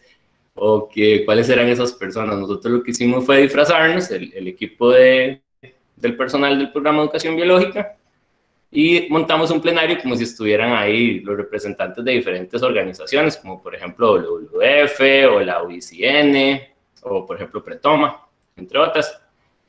Eh, al final de la actividad, este, este personal disfrazado de las ONGs hizo entrega simbólica de cheques y con esta forma se iban a financiar los proyectos de conservación. Entonces fue muy, muy emotivo. Vamos a ver algunas fotos de cómo ocurrió esta actividad y cómo se desarrolló. Hubieron, hubieron cuatro proyectos muy lindos y que salió de la mente de los estudiantes. En este caso, ellos iban, este se llama monitoreo de la vida de una tortuga carey. Todos los estudiantes, como hay un vacío de información en la biología de las tortugas de sus primeros 20 años, no se sabe qué se hacen, entonces ellos iban a inventar un robot para de esa forma seguir una tortuga carey, para ver qué hacía sus 20 años y para poder conservarla mejor. Es un proyecto muy interesante, pero todos fueron igual de interesantes. Estos estudiantes también decidieron hacer una estrategia para educación basada como en el programa de educación biológica y enfocada en tortugas marinas. Este otro equipo de estudiantes ante la carencia de la tortuga baula, que es una especie que estaba en sus poblaciones muy reducidas, ellos decidieron hacer un vivero de tortuga baula en las playas del Caribe. Y para los que no saben, o, o, para los que no saben que es un vivero de tortugas, consiste en recolectar los huevos de la playa y ponerlos en un lugar seguro en, en la misma playa para evitar el saqueo o también la depredación por perros, entre otros organismos domésticos que no pertenecen a la playa. Mm, y este otro proyecto que salió, que es el último, es la creación de una, de un área marina, de un área marina para proteger las tortugas y demás biodiversidad marina. Y por ahí se ven en esta tarjeta que eh, proponían un área de 8.000 hectáreas. Entonces, esta actividad fue muy bonita, que hay más memorias de un educador disfrazado, este es Roberto Vargas, el que explicó el, primer, la primera presentación. Él se llamaba en la actividad Robert Rooney, pertenecía a la ONG WWF y estos fueron los cheques que se entregaron, venían emplasticados y usted podía escribir el monto para donar a ese proyecto de conservación de tortugas marinas. Entonces, una actividad muy emotiva. Voy a pasar a la segunda del taller. Esta es una estrategia de evaluación, se llama Rally de Tortugas Marinas y como objetivo pretende evaluar y reforzar en el estudiantado todos los conocimientos aprendidos durante los tres días del taller usando siete pruebas. Um, vamos a ver cómo se realizó. Primero, se prepararon diferentes sitios en el refugio ostional. Eh, ahí habían distintas pruebas, se presentaban de manera simultánea y los grupos de estudiantes iban caminando de un lugar a otro y iban resolviendo las pruebas. Mm, bueno, sí. Y, vamos a ver qué más aquí. Bueno, una persona, Pep, estaba ahí en, eh, controlando el, desarrollo de la prueba. Y ahí decía si avanzaba o no avanzaba otra estación. Y el avance, al final, cuando ellos terminaban, eso quedaba registrado en una rúbrica, quedaba un resultado final para ver cuál equipo había ganado. Eh, bueno, una de las, de las pruebas de este rally consistió en cavar el nido de una tortuga lora, con todas las especificaciones de forma y profundidad. Entonces los estudiantes cuando llegaban al reto tenían que, como ven en la fotografía, tenían que ir subiendo la playa, arrastrándose como si fuera una tortuga marina, desde la zona baja, pasando por la zona media hasta llegar a la zona alta de la playa. Ahí arriba, de una manera consensuada entre todas las personas participantes del equipo, cavaban el nido y debía tener la forma de una bota y además debía tener una profundidad. Para eso se apoyaron con una unidad de medida, un metro, un metro de madera. Al terminar, los estudiantes se regresaban arrastrándose, eh, como lo hace la tortuga, a la playa. No tenían que tapar el nido porque la persona que iba a evaluar el, el reto tenía que ver la forma y la profundidad. Entonces, esto fue una actividad, además de otras, como por ejemplo el dado de las tortugas marinas, o como por ejemplo una historia natural incierta, o matemáticas de las tortugas, que ellos fueron haciendo durante el desarrollo del rally. Ok. Eh, vamos a ver, el segundo taller es el vigésimo quinto, el que yo voy a exponer, eso ocurrió en el año 2015 y fue del 17 al 19 de junio este, fue, este taller estaba bajo el nombre de Brigada Forestales Junior, se desarrolló en los sectores Poco Sol y Santa Rosa de nuestra área de conservación, Guanacaste, un taller a nivel local, y participaron 35 estudiantes del PEP, 15 niñas, 20 niños pertenecientes a 21 centros educativos. Esta es una fotografía de, de este taller, de las personas que participaron y podemos ver bomberos forestales que son compañeros de nosotros. Y le damos las gracias porque sin el apoyo de estas personas el taller no hubiera sido posible, ya que ellos tienen una gran cantidad de conocimientos en el tema de incendios y también tienen equipos que son muy llamativos para los estudiantes a la hora de, enseñar este tema de, de brigadas y control de incendios.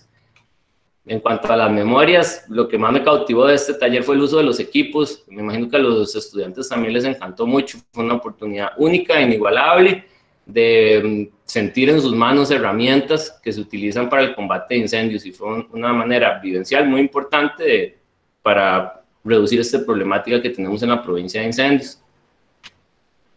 En cuanto a las actividades que se hicieron en este taller, igual les traigo dos. Eh, esta se llama Radio Pisote, que es una actividad adaptada de un material educativo que se llama Un incendio menos, un bosque más, es de Ojalá Comunicaciones. Y el objetivo era aprender las causas, los efectos y la prevención de incendios forestales mediante una actividad dinámica y un simulacro de un programa de radio. Entonces, si vemos la descripción de la actividad de Radio Pisote, tuvimos que preparar como una cabina de radio o algo parecido, en donde el estudiantado dividido en cuatro grupos iba ellos iban a desarrollar su programa de radio. Entonces, cada subgrupo elabora un simulacro, el programa de radio. Ellos asumen diferentes roles. Eh, algunos estudiantes fueron locutores, bomberas y bomberos forestales. Otros eran periodistas en el campo. Y cada programa de radio se presentó a los demás estudiantes, a los demás grupos que eran parte de la, de la población que participaba en el taller.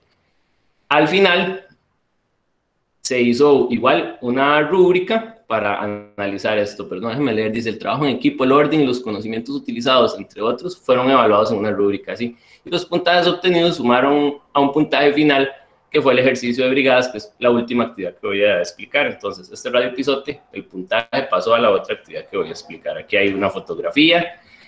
Eh, hemos utilizado muchas veces cartón, es una técnica que nos llama la atención, es reutilizado y además, pues, lo hace llamativo a los estudiantes. Eh, ¿Qué se rescata de esta actividad? Los estudiantes asumen el rol y exponen, entonces es una actividad divertida y salen riéndose. Y em, fue, para mí fue muy bonita, además de poder ahí innovar en este sentido. La última estrategia de mediación que voy a explicar el día de hoy es el ejercicio de movilización de brigadas. Esto es un ejercicio que ya se hace a nivel real con brigadas reales nada más que se adaptó para hacerlo con estudiantes de 12 años, desde sexto grado.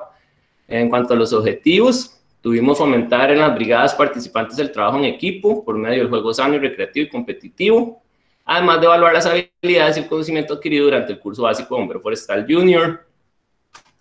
Así se desarrolló, utilizamos un sitio que ya teníamos previo, que ya estaba previo por los compañeros del programa de manejo del fuego en el sector Pocosol, y cada una de las cuatro brigadas que conformaban la población del taller eh, realizó las mismas pruebas, se evaluaron conocimientos, pero también hubieron pruebas físicas y el avance de cada ejercicio de movilización quedó registrado igual en una rúbrica. Estas rúbricas son muy importantes a la hora de, de evaluar a los estudiantes, tenerlas previamente y analizarlas.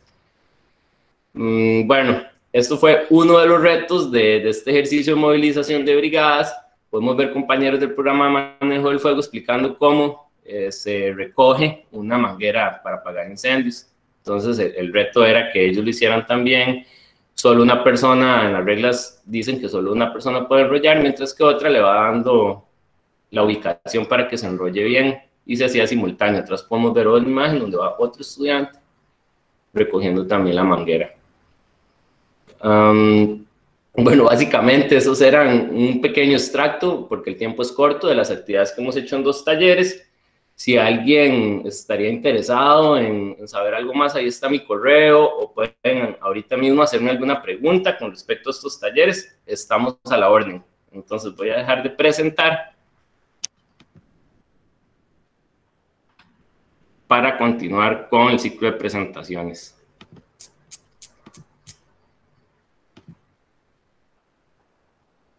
Ok, gracias. Vamos a ver. Si alguien tiene alguna pregunta, vamos a ver un momentito.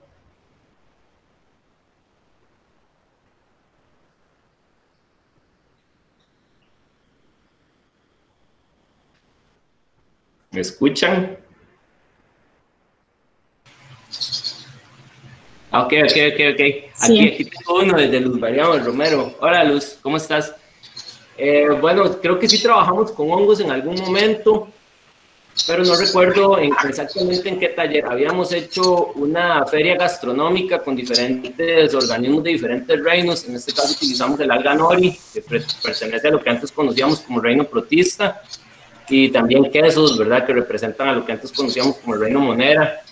Y entonces sí lo hemos hecho, pero creo que en un taller de biodiversidad. No sé si le respondí la pregunta, Luz María.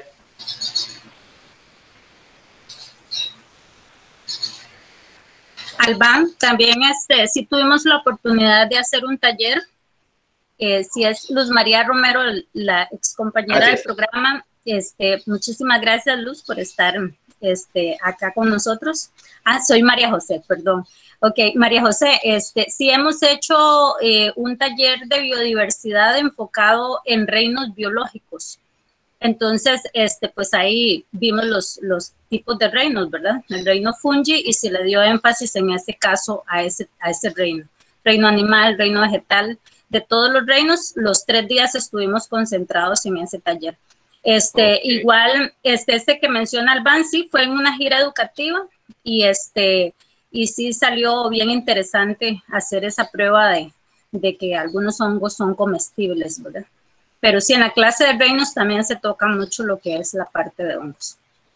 Ok, sí, tal vez como para aclarar un poco, yo no he estado en, todo, en toda la historia del programa, tengo los últimos años del programa es que he estado en el programa, entonces eh, tal vez los compañeros que estuvieron más antes, ellos sí, en ese taller de reinos biológicos, yo no participé y, y entonces de, de, esa forma pues no tengo ese conocimiento, pero gracias por hacer la pregunta, hay espacio para una pregunta más y si no le damos el pase a mi compañera Rosibel.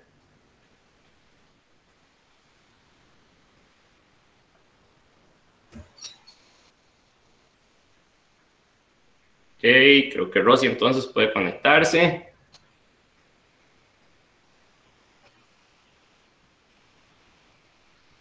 Gracias, Albán.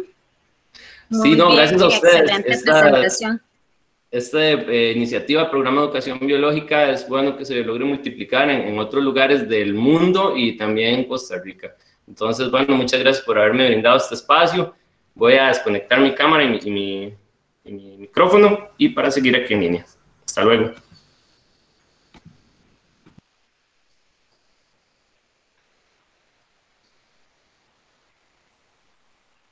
Vamos a ver, vamos a esperar un momentito que la compañera Rosy accese la presentación. Muchísimas gracias a todos por haberse mantenido en estas presentaciones.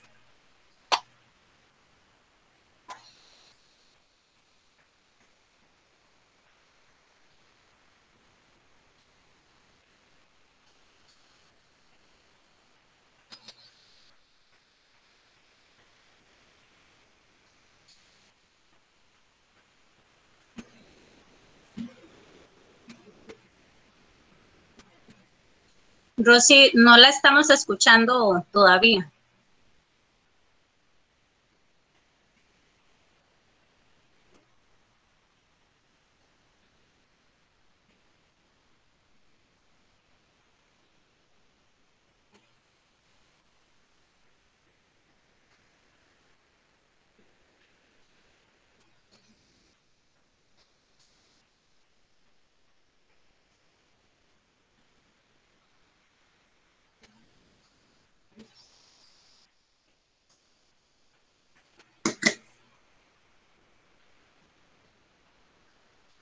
Rosy, usted tiene su teléfono, su micrófono activado.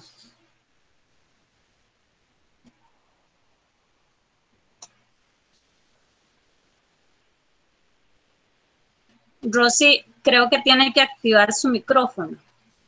Lo estoy viendo desactivado.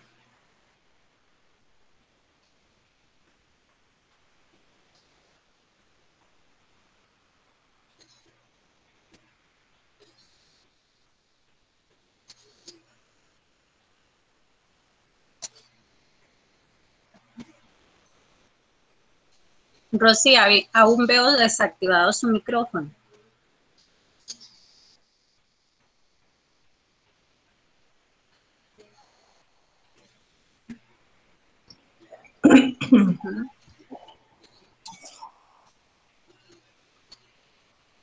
Hola, ¿ahora sí me ven? Sí, Rosy, adelante. Ok, ¿me están viendo en la pantalla? Chicos. Hola. Sí, sí, Rosy, ¿te ves bien? Ahora inicia a presentar. Ok. Voy con la, con la, con la charla. ¿Estamos? ¿Me escuchan? ¿Me escuchan? Sí, sí, la escuchamos. Bueno, buenos días. Buenos días, eh, mi nombre es Rosibel Elizondo, soy educadora biológica del programa de educación biológica, igual que mis compañeros.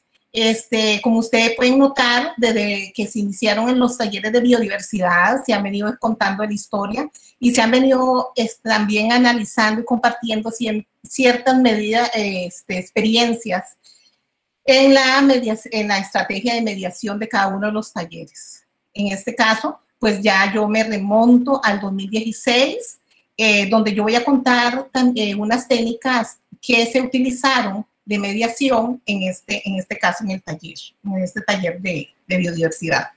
Fue en el 2016, eh, el tema fue técnica de monitoreo de mamíferos, se realizó en el Parque Nacional Santa Rosa y el objetivo de este taller en ese, en ese entonces era capacitar a los estudiantes seleccionados con diferentes técnicas de monitoreo ambiental de mamíferos de Costa Rica. También que ellos tuvieran la, la oportunidad de conocer e identificar algunos mamíferos. Aprendieron diferentes técnicas que utilizaron los investigadores que en este, ¿verdad? Técnicas recientes. Este, quiero ahondar aquí un poquito, eh, que gracias a a la, a la este, relación que nosotros tenemos con los biólogos, con los investigadores, los científicos del área, pues tenemos ese gran apoyo en todo momento. También era fomentar los buenos valores hacia el ser humano y la naturaleza. Eh, Rosy, disculpe. Sí. Nos ayudas con la presentación que no está en pantalla en este momento. ¿No se está viendo? Eduardo. No, no, no. ¿No la están viendo? No, eh, aquí en, no, Rosy. desde la plataforma de Meet. Ok, me voy a salir, voy a volverla a meter. Ok, no, no, no, simplemente eh, darte presentar ahora desde la plataforma de Meet. Ahí. Aprieto aquí. Me voy a la, a la charla. Ahí. Ahí. ¿La ven? No, Rosy, todavía no. No. Ok. Me voy para acá. Este, compartir. Ahora sí. Ya parece que ya. Ok, ya puedo ir a... A la charla. A la charla. Perfecto. ¿Ahí? ¿Se observa? No, todavía no. Sí, ya, ya Excelente, Rosy. ¿Se observa? Eduardo. Sí, sí, sí, adelante. Ok. Entonces, como les comentaba, que gracias a, este, a los invitados y a los investigadores, pues nosotros tenemos ese gran apoyo de esos científicos que están llevando a cabo investigaciones tanto en el área de conservación Guanacaste como en otros proyectos. Entonces, eh, una de las estrategias de mediación que se utilizó para este, estos talleres con estos niños eh, fueron caminatas en busca de rastros, instalaciones de cámaras trampa, técnica de monitoreo de jaguar, murciélagos y ratones y también charlas. En esta oportunidad tuvimos 40 eh, niños participando de las diferentes comunidades, como le hemos venido mencionando. Si ustedes ven también la cantidad de niños ha ido aumentando este, año con año. Empezamos cuando nuestro compañero eran 18 niños, 15 niños, pero conforme el programa fue creciendo, tuvimos, tenemos más población, entonces ya es una cantidad muy considerable. ¿Qué se quiere con estos talleres, con este taller en esta oportunidad? Era que los niños conocieran, que tuvieran un aprendizaje, que vivieran momentos mágicos y únicos, para que ellos lograran esa empatía con la naturaleza y así llegaran a valorar y amar toda esa biodiversidad que íbamos a estar estudiando durante esos días. ¿Cómo se logró toda esa, esa este, taller? ¿Cómo se desarrolló para que llegaran ellos a conocer y tener esa empatía y valorar? Entonces, los niños y las niñas recibieron información en el campo de parte de los investigadores. En ese caso, como era el rastreo de jaguar, junto con el doctor Eduardo Carrillo y también con el doctor Montalvo y otras este, investigadoras, eh, bajamos hasta Playa Naranjo, siempre lo, lo hacemos en, eh, en, in situ, en el lugar correcto, tomando todas las medidas y respeto a, a, las recomendaciones que nos dan los investigadores, los científicos en ese momento. En esa oportunidad, pues llegaron niñas, tuvieron con, con telemetría, también fuimos a buscar eh, un lugar increíble, en ese lugar, bueno, que está muy oculto, donde hay un comedero de los jaguares, donde hay un montón de, de, de caparazones de tortuga. Los niños pudieron vivenciar estos procesos que se viven ahí y, esa, y hablar un poco de la depredación. También se buscaron rastros a través de las excretas y ya con especialistas y tomando todas las medidas, los niños tuvieron la oportunidad de identificar por medio de la excreta cuál especie era la, la También conocieron técnicas de monitoreo murciélago eh, con una este, compañera, una gran amiga que es de, de, del y junto también con un compañero tuvieron también esa oportunidad de salir en la noche a captar este, a capturar con red de niebla, murciélago y también los sonidos de los este, eh. Eh, después de esas experiencias vividas, para nosotros también es muy importante de que es poder evaluar esos aprendizajes de caminata, de días, nocturnas, eh, levantarse de madrugada, acostarse tarde, charla y todo. De alguna manera nosotros tenemos que ver a dónde les llegó el mensaje, si ellos aprendieron, si ellos comprendieron ese mensaje, esa información que se les brindó en ese momento. Entonces, a través de afiches en tela, ellos pudieron hacer, hacer expresiones manuales y en esta oportunidad hicieron, pintaron problemáticas y acciones positivas. Entonces, los niños eh, muy creativos y trabajando en equipo, en grupo, ellos confeccionaron un gran afiche en tela donde pudieron plasmar su sentimiento hacia las, este, eh, la problemática, ¿verdad?, que viven todos esos organismos. También a través de dramatizaciones, otro grupo presentó esta técnica que fueron este, ataques de felinos en finca ganadero de las comunidades. Después, aquí es donde yo me voy a enfrascar un poquito, que es el uso de la tecnología. Ya los niños, si antes, bueno, no estaban los teléfonos celulares, no habían eh, las cámaras, eh, y ahora como eso es universal, todos los niños andan cámaras fotográficas y todos la tecnología, ellos están inmersos. Entonces, ¿por qué no sacarle provecho a esa, a esa parte tecnológica? En esta oportunidad hubo otro grupo que se encargó de hacer un video cortos. Y esos videos cortos, el objetivo era resaltar aquellos momentos importantes vividos en el taller. El, el equipo le facilitó una cámara GoPro, una cámara fotográfica, y ellos se encargaron de ir captando esos momentos únicos, únicos para ellos este, poderlo presentar a los demás grupos. Entonces fue algo lindísimo, liderado por un compañero, compañero este, biólogo, él este, fue orientado, y lo más lindo también que ese video que ellos captaron, estos niños captaron, fue subido a las redes sociales del área de conservación Guanacaste. Entonces ahí está ese video, ¿verdad? Esto es una técnica de aprovechamiento de tecnología, sabemos aprovechar. Otra este, experiencia de mediación o, o estrategia de mediación es esta actividad que se llama el Museo del Futuro. El Museo del Futuro es una actividad muy linda de reflexión, de reflexión porque es a través del tiempo, ¿verdad? Entonces, esa actividad es interactiva con los demás, este, demás niños o también personas adultas, como los investigadores que estuvieron en esta oportunidad. Se hace una, una recreación de un museo de historia natural, pero a futuro. A futuro y nos vamos a trasladar 100 años, 100 años después, ¿verdad? Entonces, y el objetivo de esta, de esta actividad era de reflexión y análisis sobre la problemática y la falta de sensibilidad del ser, del ser humano en nuestro planeta y, que, y qué podría pasar de aquí a 100 años si no cambiamos nuestra actitud. Entonces, si ustedes ven en esta diapositiva, hay una niña que es la guía es la guía como un museo, como si cuando usted va a un museo siempre hay una persona que está en la entrada, que vende el tiquete, que está guiando.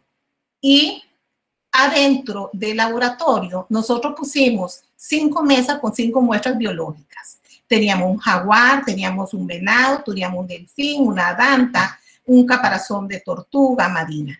Todas estas, estas muestras biológicas son muestras que fueron encontradas dentro del área silvestre muerto, animales o en carretera. Esas muestras llevan todo un proceso. Nosotros los educadores nos encargamos de valorar esa muestra si está en buen estado todavía y procedemos a, llevarle a cabo un, proceso de descomposición, de, enterrarla, de esperar que pase todo ese proceso natural para después agarrar esos esas esqueletos, podemos decir, y lleva todo un proceso. Dentro del, equipo tenemos una persona que es muy buena para armar, que es Albán. Albán es una persona muy creativa y es el que se ha encargado de restaurar y de armar algunos este, esqueletos que tenemos ahí. Entonces, es una linda manera de entrar a, a reflexionar, ¿verdad? Este, también el ser humano eh, durante su historia y eso lo cuentan los chiquitos ahí durante el recorrido, durante su historia en la Tierra, no aprendió a convivir con los demás seres vivos. Por ejemplo, eh, se habla de las quemas, de las cacerías, de la forestación, contaminación y la degradación por la invasión de territorio. Entonces, todo eso, eso los niños van interactuando. En esta actividad, los niños tienen sus celulares y hay una un niño o una niña que están escondidos por cierto lugar y están con un micrófono y están con sonido, que cuando pasa el visitante por el Museo del Futuro y van viendo la muestra, inclusive hasta simularon como botoncito donde ellos apretaban y el niño escondido en este, y con la grabadora de su teléfono sonaban, hacían los sonidos de los animales. Entonces, creemos que es una actividad muy linda para sensibilizar y también para evaluar, ¿verdad?, a, los niños. Esta es la generación 2016, es un grupo bastante grande, fueron 40 niños, aquí hacen falta todavía los facilitadores, que fueron bastante personas que colaboraron con nosotros. Ahora les voy a hablar de otra estrategia de mediación, que es el taller de biodiversidad. El taller de biodiversidad del 2017 fue sobre aves del área de conservación Guanacaste, y en este caso era capacitar a los estudiantes en el tema de aves del bosque tropical seco. También algo era, eh, volviendo con la tecnología, a capacitarlos también en fotografía y hacer un concurso de, fotografía.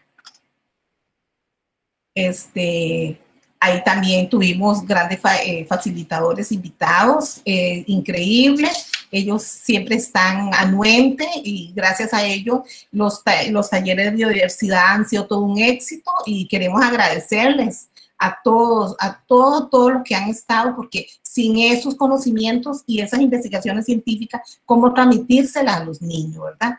Eh, tuvimos charlas y técnicas de monitoreo de las aves de la CG y un uso correcto de binoculares, recomendación para una buena fotografía y las experiencias, las, una experiencia muy linda que es este, de fotografía. En este caso ya los niños están en el campo con, con, el, con el investigador, con el biólogo Pablo Camacho, donde él está dando toda una etapa inductiva hacia el buen uso de los binoculares, cómo se deben de usar, cómo se debe de, de, de, captar mejor la imagen, ¿verdad? Ah, también tenemos aquí una compañera bióloga del área, María Marta Chavarría, que nos mostró técnica para una buena fotografía, tomando como ejemplo el grupo que ella organiza. Hay un grupo en la comunidad costera de Coajiniquil que ella lo lidera, que se llama Trogones. Estos niños se encargan de andar fotografiando aves y es una manera de monitoreo comunitario muy, pero muy interesante. Entonces ella estaba explicando, dando ciertas recomendaciones a los niños para que su fotografía fuera increíble, ¿verdad? Para el concurso. Aquí está también la compañera Melissa Espinosa, que eh, nos apoya en la parte de comunicación y ella ahí está usando ya lo, que es las redes sociales, cómo se deben de utilizar. El fomentar el buen uso eh, de, los dispositivos, herramientas interactivas en el taller es muy importante. Sabemos que hay cámara fotográfica, hay tablet o tabletas y tenemos también el, el canal de YouTube de la CEPI. Entonces, esto, cómo, hacer que el niño utilice esta herramienta para hacer arte y que sean creativos a través de una buena fotografía, explorar el entorno. Son momentos únicos y repetibles en su vida, motivar a la reflexión y el uso también del sentido de la vista. Aquí en esta fotografía son procesos que se dan dentro de, la, de los ecosistemas del área de conservación Guanacaste. Como pueden ver, la boa con, eh, se está depredando un cervatillo. Entonces, son momentos, procesos que el niño tiene la oportunidad, si andan las cámaras eh, de sus teléfonos, ellos pueden captarlas. Entonces, nosotros como educadores siempre le damos la regla del buen uso. Solamente se utiliza en casos especiales, en el momento de las giras o también en, en el taller. Esto ya es la gira de campo, ya ellos salen a captar eh, los momentos únicos. Como pueden ver, todos los niños andan sus teléfonos celulares con sus cámaras, sacando fotos. En estos momentos ellos se reconectan y, y, ayudan a guardar esos recuerdos, esos procesos. Vean en un murciélago haciendo un experimento el compañero Albán, eh, haciendo con un murciélago y la flor de, de jícaro para ver la polinización y este, están los niños, si ustedes ven, los niños siempre están con celulares, siempre están grabando. Entonces el mensaje son llevados para sus casas, para sus comunidades y ellos lo guardan con mucho cariño. Los niños andan tablet, todo eso, esas herramientas eh, de ahora que lo usan los niños, hay que saberlos conducir, hay que saberlos orientar para que sean bien utilizados. en todas las, en todas las giras ellos andan esas herramientas que hay que darle un buen aprovechamiento y orientarlos a ellos. Momento con investigadores, ellos andan, eh, hay un investigador, eh, de un momento a otro, él les empieza a explicar cuando vemos que todos están con sus celulares. Entonces quiere decir que es una herramienta muy, muy este, fácil de, de, de, manejar para ellos. Ahora, estos chicos de ahora nacen con ese chip de tecnología increíble, ¿verdad? Entonces, en esa, ya para el concurso de fotografía que en ese momento hicimos, tuvimos varios este, eh, eh, conceptos para evaluar, ¿verdad? Captando la mejor imagen para el concurso. Se evaluó el impacto visual, la calidad de imagen, creatividad, iluminación, la temática y también la historia natural, porque si ellos captaban alguna imagen en el concurso, tenían que explicar sobre esto. Estas fueron las fotografías que fueron compartidas por ellos y fueron subidas al Facebook de la CG para conseguir votos. Se eh, invitó a la gente seguidora de, las redes de, sociales de la CG para que votaran. Eh, bueno, eh, pudieron captar uno, un mosquero pirata atropellado dentro del área silvestre protegida. Este, también otro grupo encontró una linda larva cometa en esta oportunidad el, tuvimos la, oportunidad, el grupo tuvo la oportunidad de conseguir la ayuda para la identificación del doctor Daniel Jansen, que eso fue una gran ayuda y fue también una emoción para los niños. Eh, también captaron un nido de un colibrí, también un gavilán chapulinero. ¿Cuál fue la ganadora? La larva mariposa cometa. Esa fue la que tuvo mayor este, eh, votos en las redes sociales de la CG. Este fue el grupo de este 2017. Eh, fueron, divirtieron, aprendieron, este, caminatas, de huellas, de todos aprendieron, ¿verdad? Entonces yo creo que esta, estas eh, experiencias fueron muy lindas para ellos. Esta niña que está acá se llama Ley Salazar, eh, la contacté hace una semana, bueno, nos fuimos, nosotros tenemos una base de datos con todos los alumnos que han pasado en los talleres de biodiversidad, la contacté y esta chica eh, nos hizo un video. Eh, Aneta ahora actualmente está en el Colegio de la Cruz y vamos a escucharla.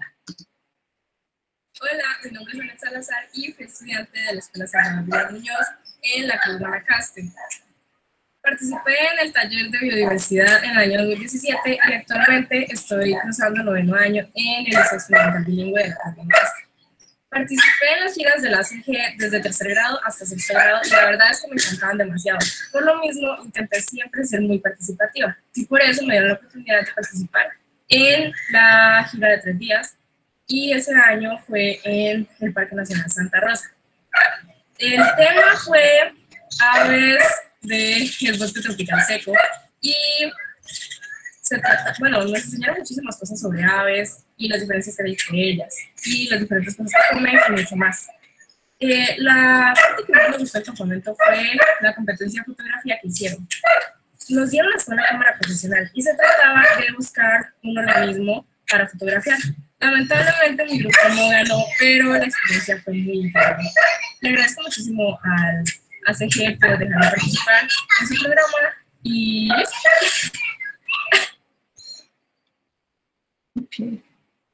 Bueno, como podrán ver, esa niña ahora está en el colegio y siempre recuerda, tiene eh, buenos sentimientos y entonces quiere decir que nuestro lema se aplica porque lo que de niño y niña se aprende, de adulto no se olvida. Entonces, esta fue mi presentación, más que todo las herramientas tecnológicas. Muchas gracias. Eh, ahí está mi, mi, correo, este, si desean alguna consulta. Y muchas gracias.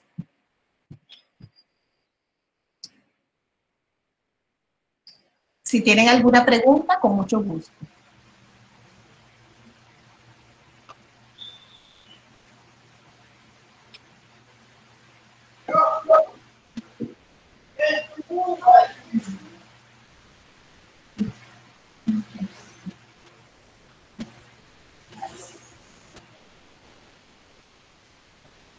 Si no le damos el paso, si no hay preguntas, le damos el paso a nuestro compañero Eduardo.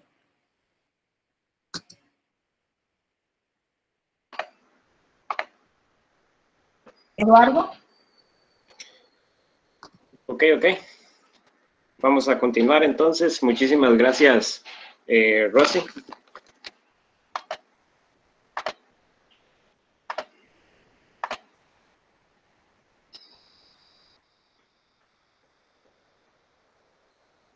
Excelente, ya estamos compartiendo pantalla.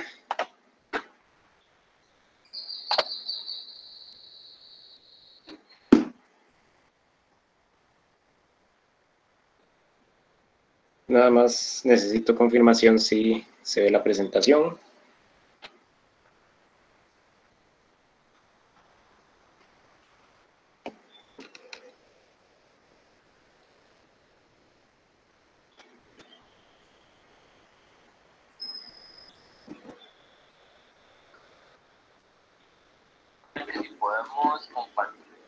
Ok, mientras tanto, eh, bueno, tuvimos ahí algunos eh, problemitas, pero ya estamos de vuelta.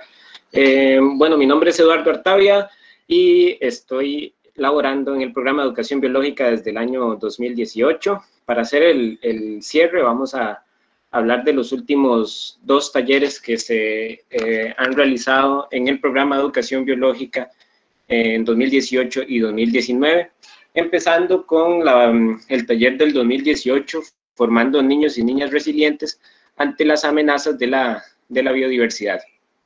Entonces, para dar inicio, primero vamos a explicar eh, brevemente qué es la, resiliencia. Eh, cuando se presentó o se pensó en el taller, se pensó en resiliencia desde el punto de vista ecológico, eh, como ese, ese sentido o esa posibilidad que tienen los ecosistemas de resistir las amenazas, por ejemplo, las del ser humano, o ante eventos eh, naturales, por ejemplo, eh, para, para, poder resistir la, degradación. Cuando nosotros hablamos de formar niños y niñas resilientes, es que, bueno, ellos conozcan los procesos biológicos y que ellos tomen sus, sus propias eh, decisiones para seguir viviendo en un, en un mundo cambiante, ¿verdad? vamos a ver.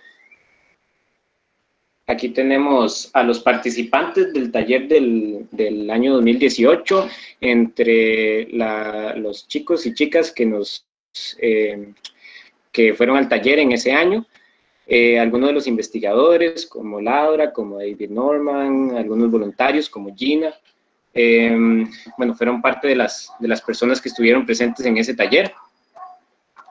Y propiamente con el taller, eh, yo voy a hablar acerca de lo que son las experiencias vivenciales como, como estrategia, eh, con una técnica que se llama la, caminata. En realidad nosotros utilizamos caminatas eh, durante las giras educativas normalmente, pero también hacemos caminatas en los talleres, en este caso una caminata nocturna.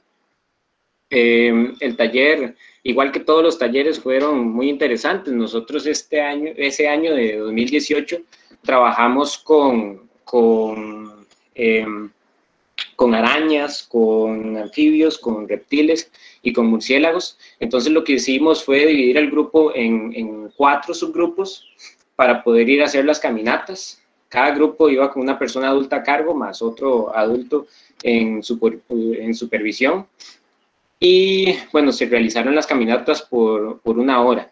El taller se realizó en el sector Santa Rosa. Nosotros eh, nos dirigimos en los, en los senderos de uso público para poder hacer las caminatas tanto de observación como de colecta de organismos. Ahorita vamos a hablar de eso. Y esta técnica se complementó con la exposición después de la caminata y, las, y los resultados se compartieron por las redes sociales para hacer un tipo de, de concurso también. Entonces, dentro de las caminatas nocturnas se hacen, como decía antes, observación y colecta de, de organismos. Organismos sería solamente uno. Para poder hacer las caminatas se necesita llevar todas las medidas de seguridad, sobre todo en este caso que es en la noche, entonces hay que llevar hay que llevar los focos, hay que llevar, en este caso, bota de hule, que sirve para la parte de la lluvia, pero también para protección, ¿verdad?, de, los pies. Em, siempre la persona eh, educadora tiene que ir adelante viendo cualquier, cualquier evento, cualquier situación. Y bueno, no es solamente caminar, sino que los chicos y las chicas llevan un, un documento que tienen que ir llenando Em, que tiene que ver con la historia natural, que tiene que ver con los nombres de las especies, para poder recolectar la, la información.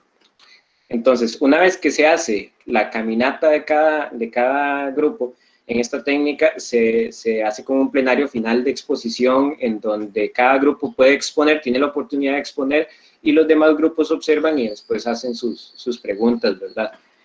Eh,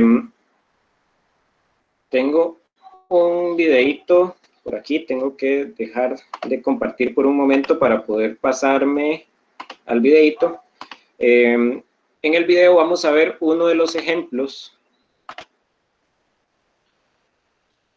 Vamos a ver, le damos tiempo. Uno de los ejemplos de exposición que fue compartido a través de las redes de, de Facebook. Este, cuando se compartió, se hizo una, una pregrabación de, del video y después los, los chicos y las chicas pudieron verlo y pudieron, este, además de, de hacer verse en pantalla, eh, hubo una, una votación. Ok. Nosotros somos equipo verde. Estamos taller Biodiversidad 2018. Ayer nos tocó ir a buscar anfibios, en total encontramos cinco especies, que fueron la rana lechosa, la rana oveja, la rana túgara y el sapo gigante. Y también el sapo amarillo, que hoy nuestra compañera nos va a explicar un poco más sobre él. Bueno, eh, mi nombre es Katie Fabiana Cortés Corea, vengo de la Escuela Santa Cecilia y hoy les voy a hablar un poco sobre el sapo amarillo.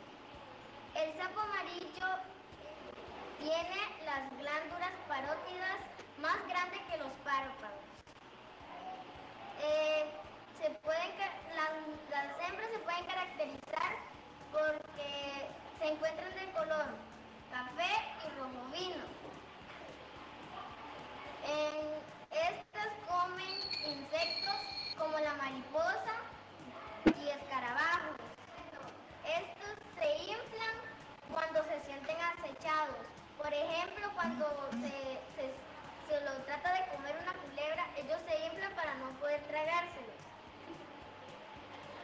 Y bueno, aquí podemos ver un poco de, de las especies. Aquí está el sapo amarillo y las dos especies de hembras, los dos colores de hembras. Muchas gracias.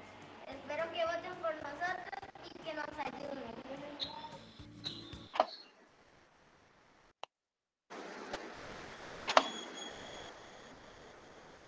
Ok, ok, entonces vamos a pasar de nuevo a la presentación. Ese fue el primer videito.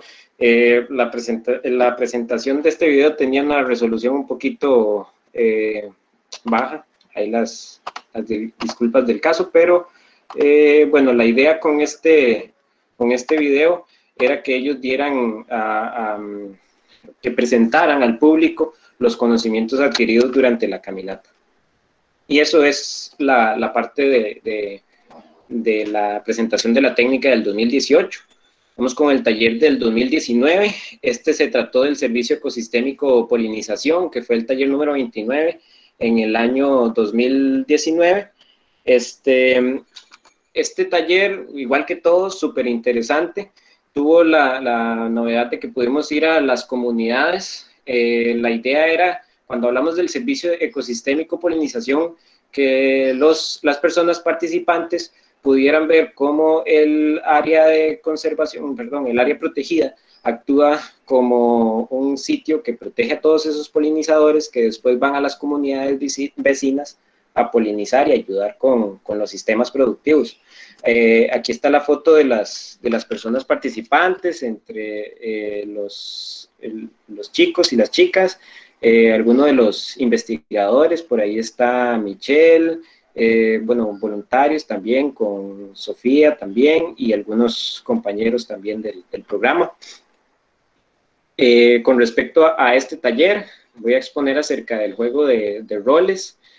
Eh, eh, esto del juego de roles no es como el juego de, simulación. El juego de simulación es, más como Suiza o como quedó, como estos otros juegos cortos. El juego de roles es más como ir, salir a ver la realidad y después representarla, ponerse en el papel de. Entonces, en este caso salimos de, la área silvestre protegida para hacer visitas, por ejemplo, en la comunidad de Curubandé, en la comunidad de Agua Fría, donde pudimos observar algunos proyectos.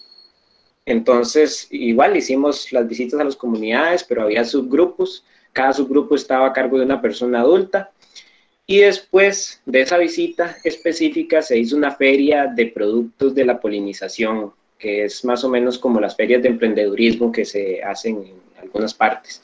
Después se generó un comercial, como si se estuviera presentando un comercial de un producto en televisión, que eso, bueno, los, los chicos y las chicas tuvieron que idear cómo hacerlo, ¿verdad? Eh, esto es parte de, la feria.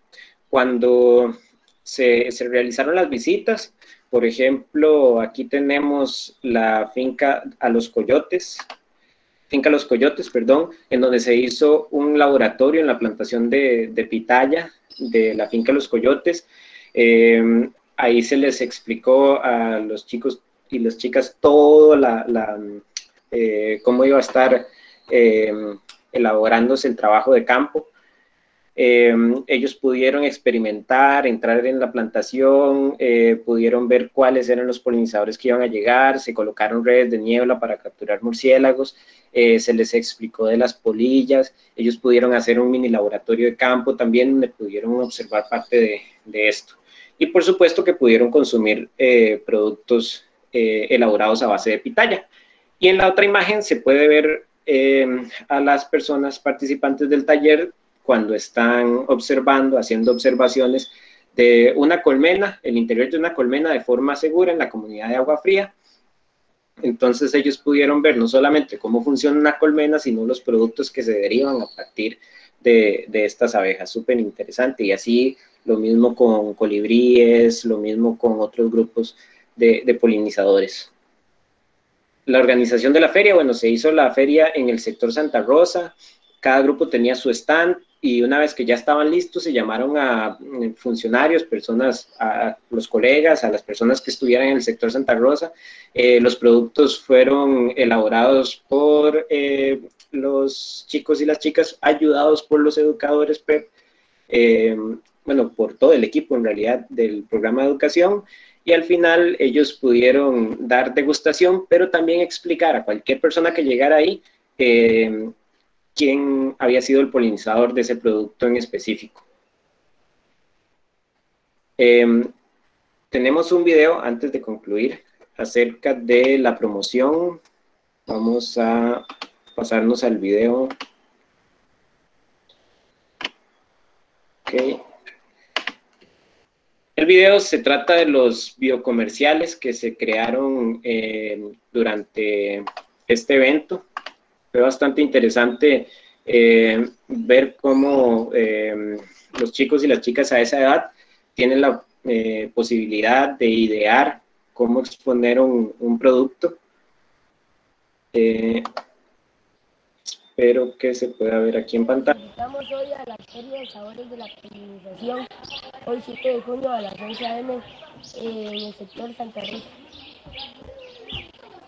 Eh, hoy, hoy venimos a ofrecerles degustaciones, como por ejemplo el plátano que es polinizado por los murciélagos y que está servido en un plato de guacal, que también es polinizado por los murciélagos.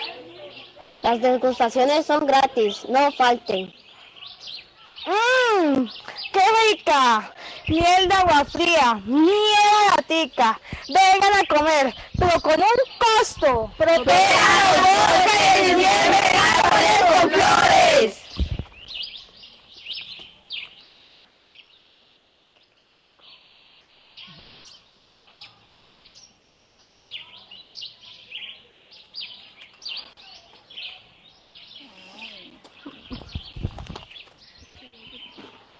Vean esta planta. ¿Será que no tiene insectos?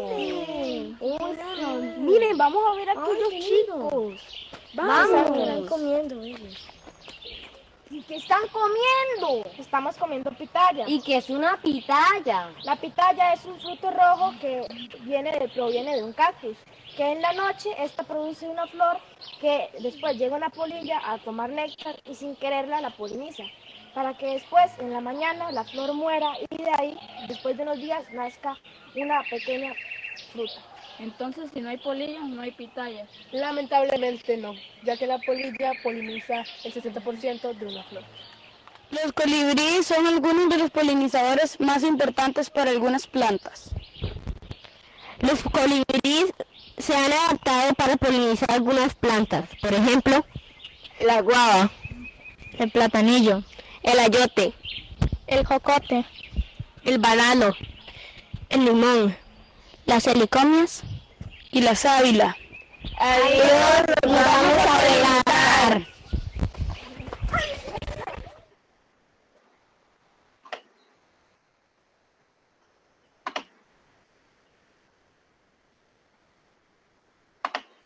Ok, ok, eso es, esos fueron los ejemplos de eh, los biocomerciales. Entonces igual hubo todo un, concurso. Eh, ya para, para hacer el cierre, este, vamos a terminar compartiendo la pantalla por aquí. Eh, lo primero que quería decir es, bueno, muchísimas gracias a, todas las personas que nos han acompañado a través de la, de la plataforma. Por aquí está el, contacto, si alguno tiene alguna pregunta extra a la presentación. Eh, también hay espacio para alguna pregunta antes de concluir con respecto a la presentación.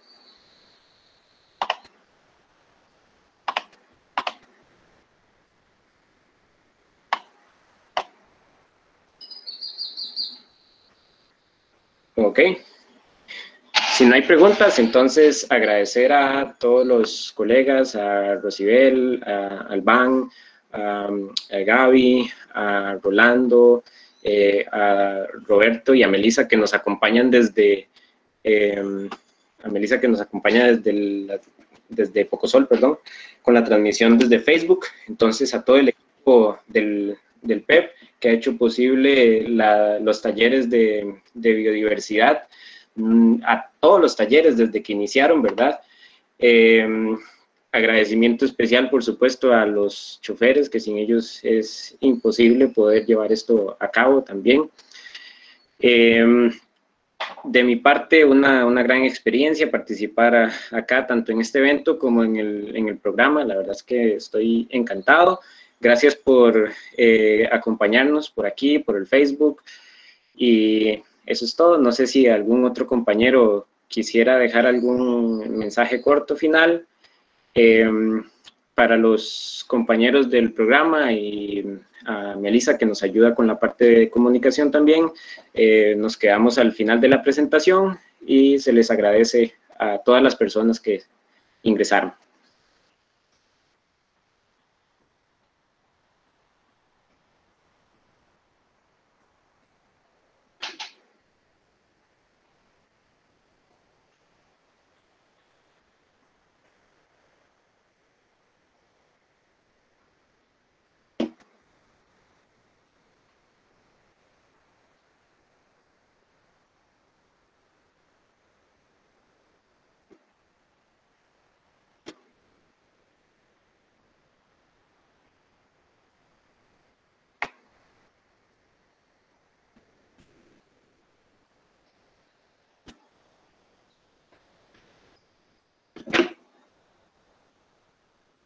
Ok, chao.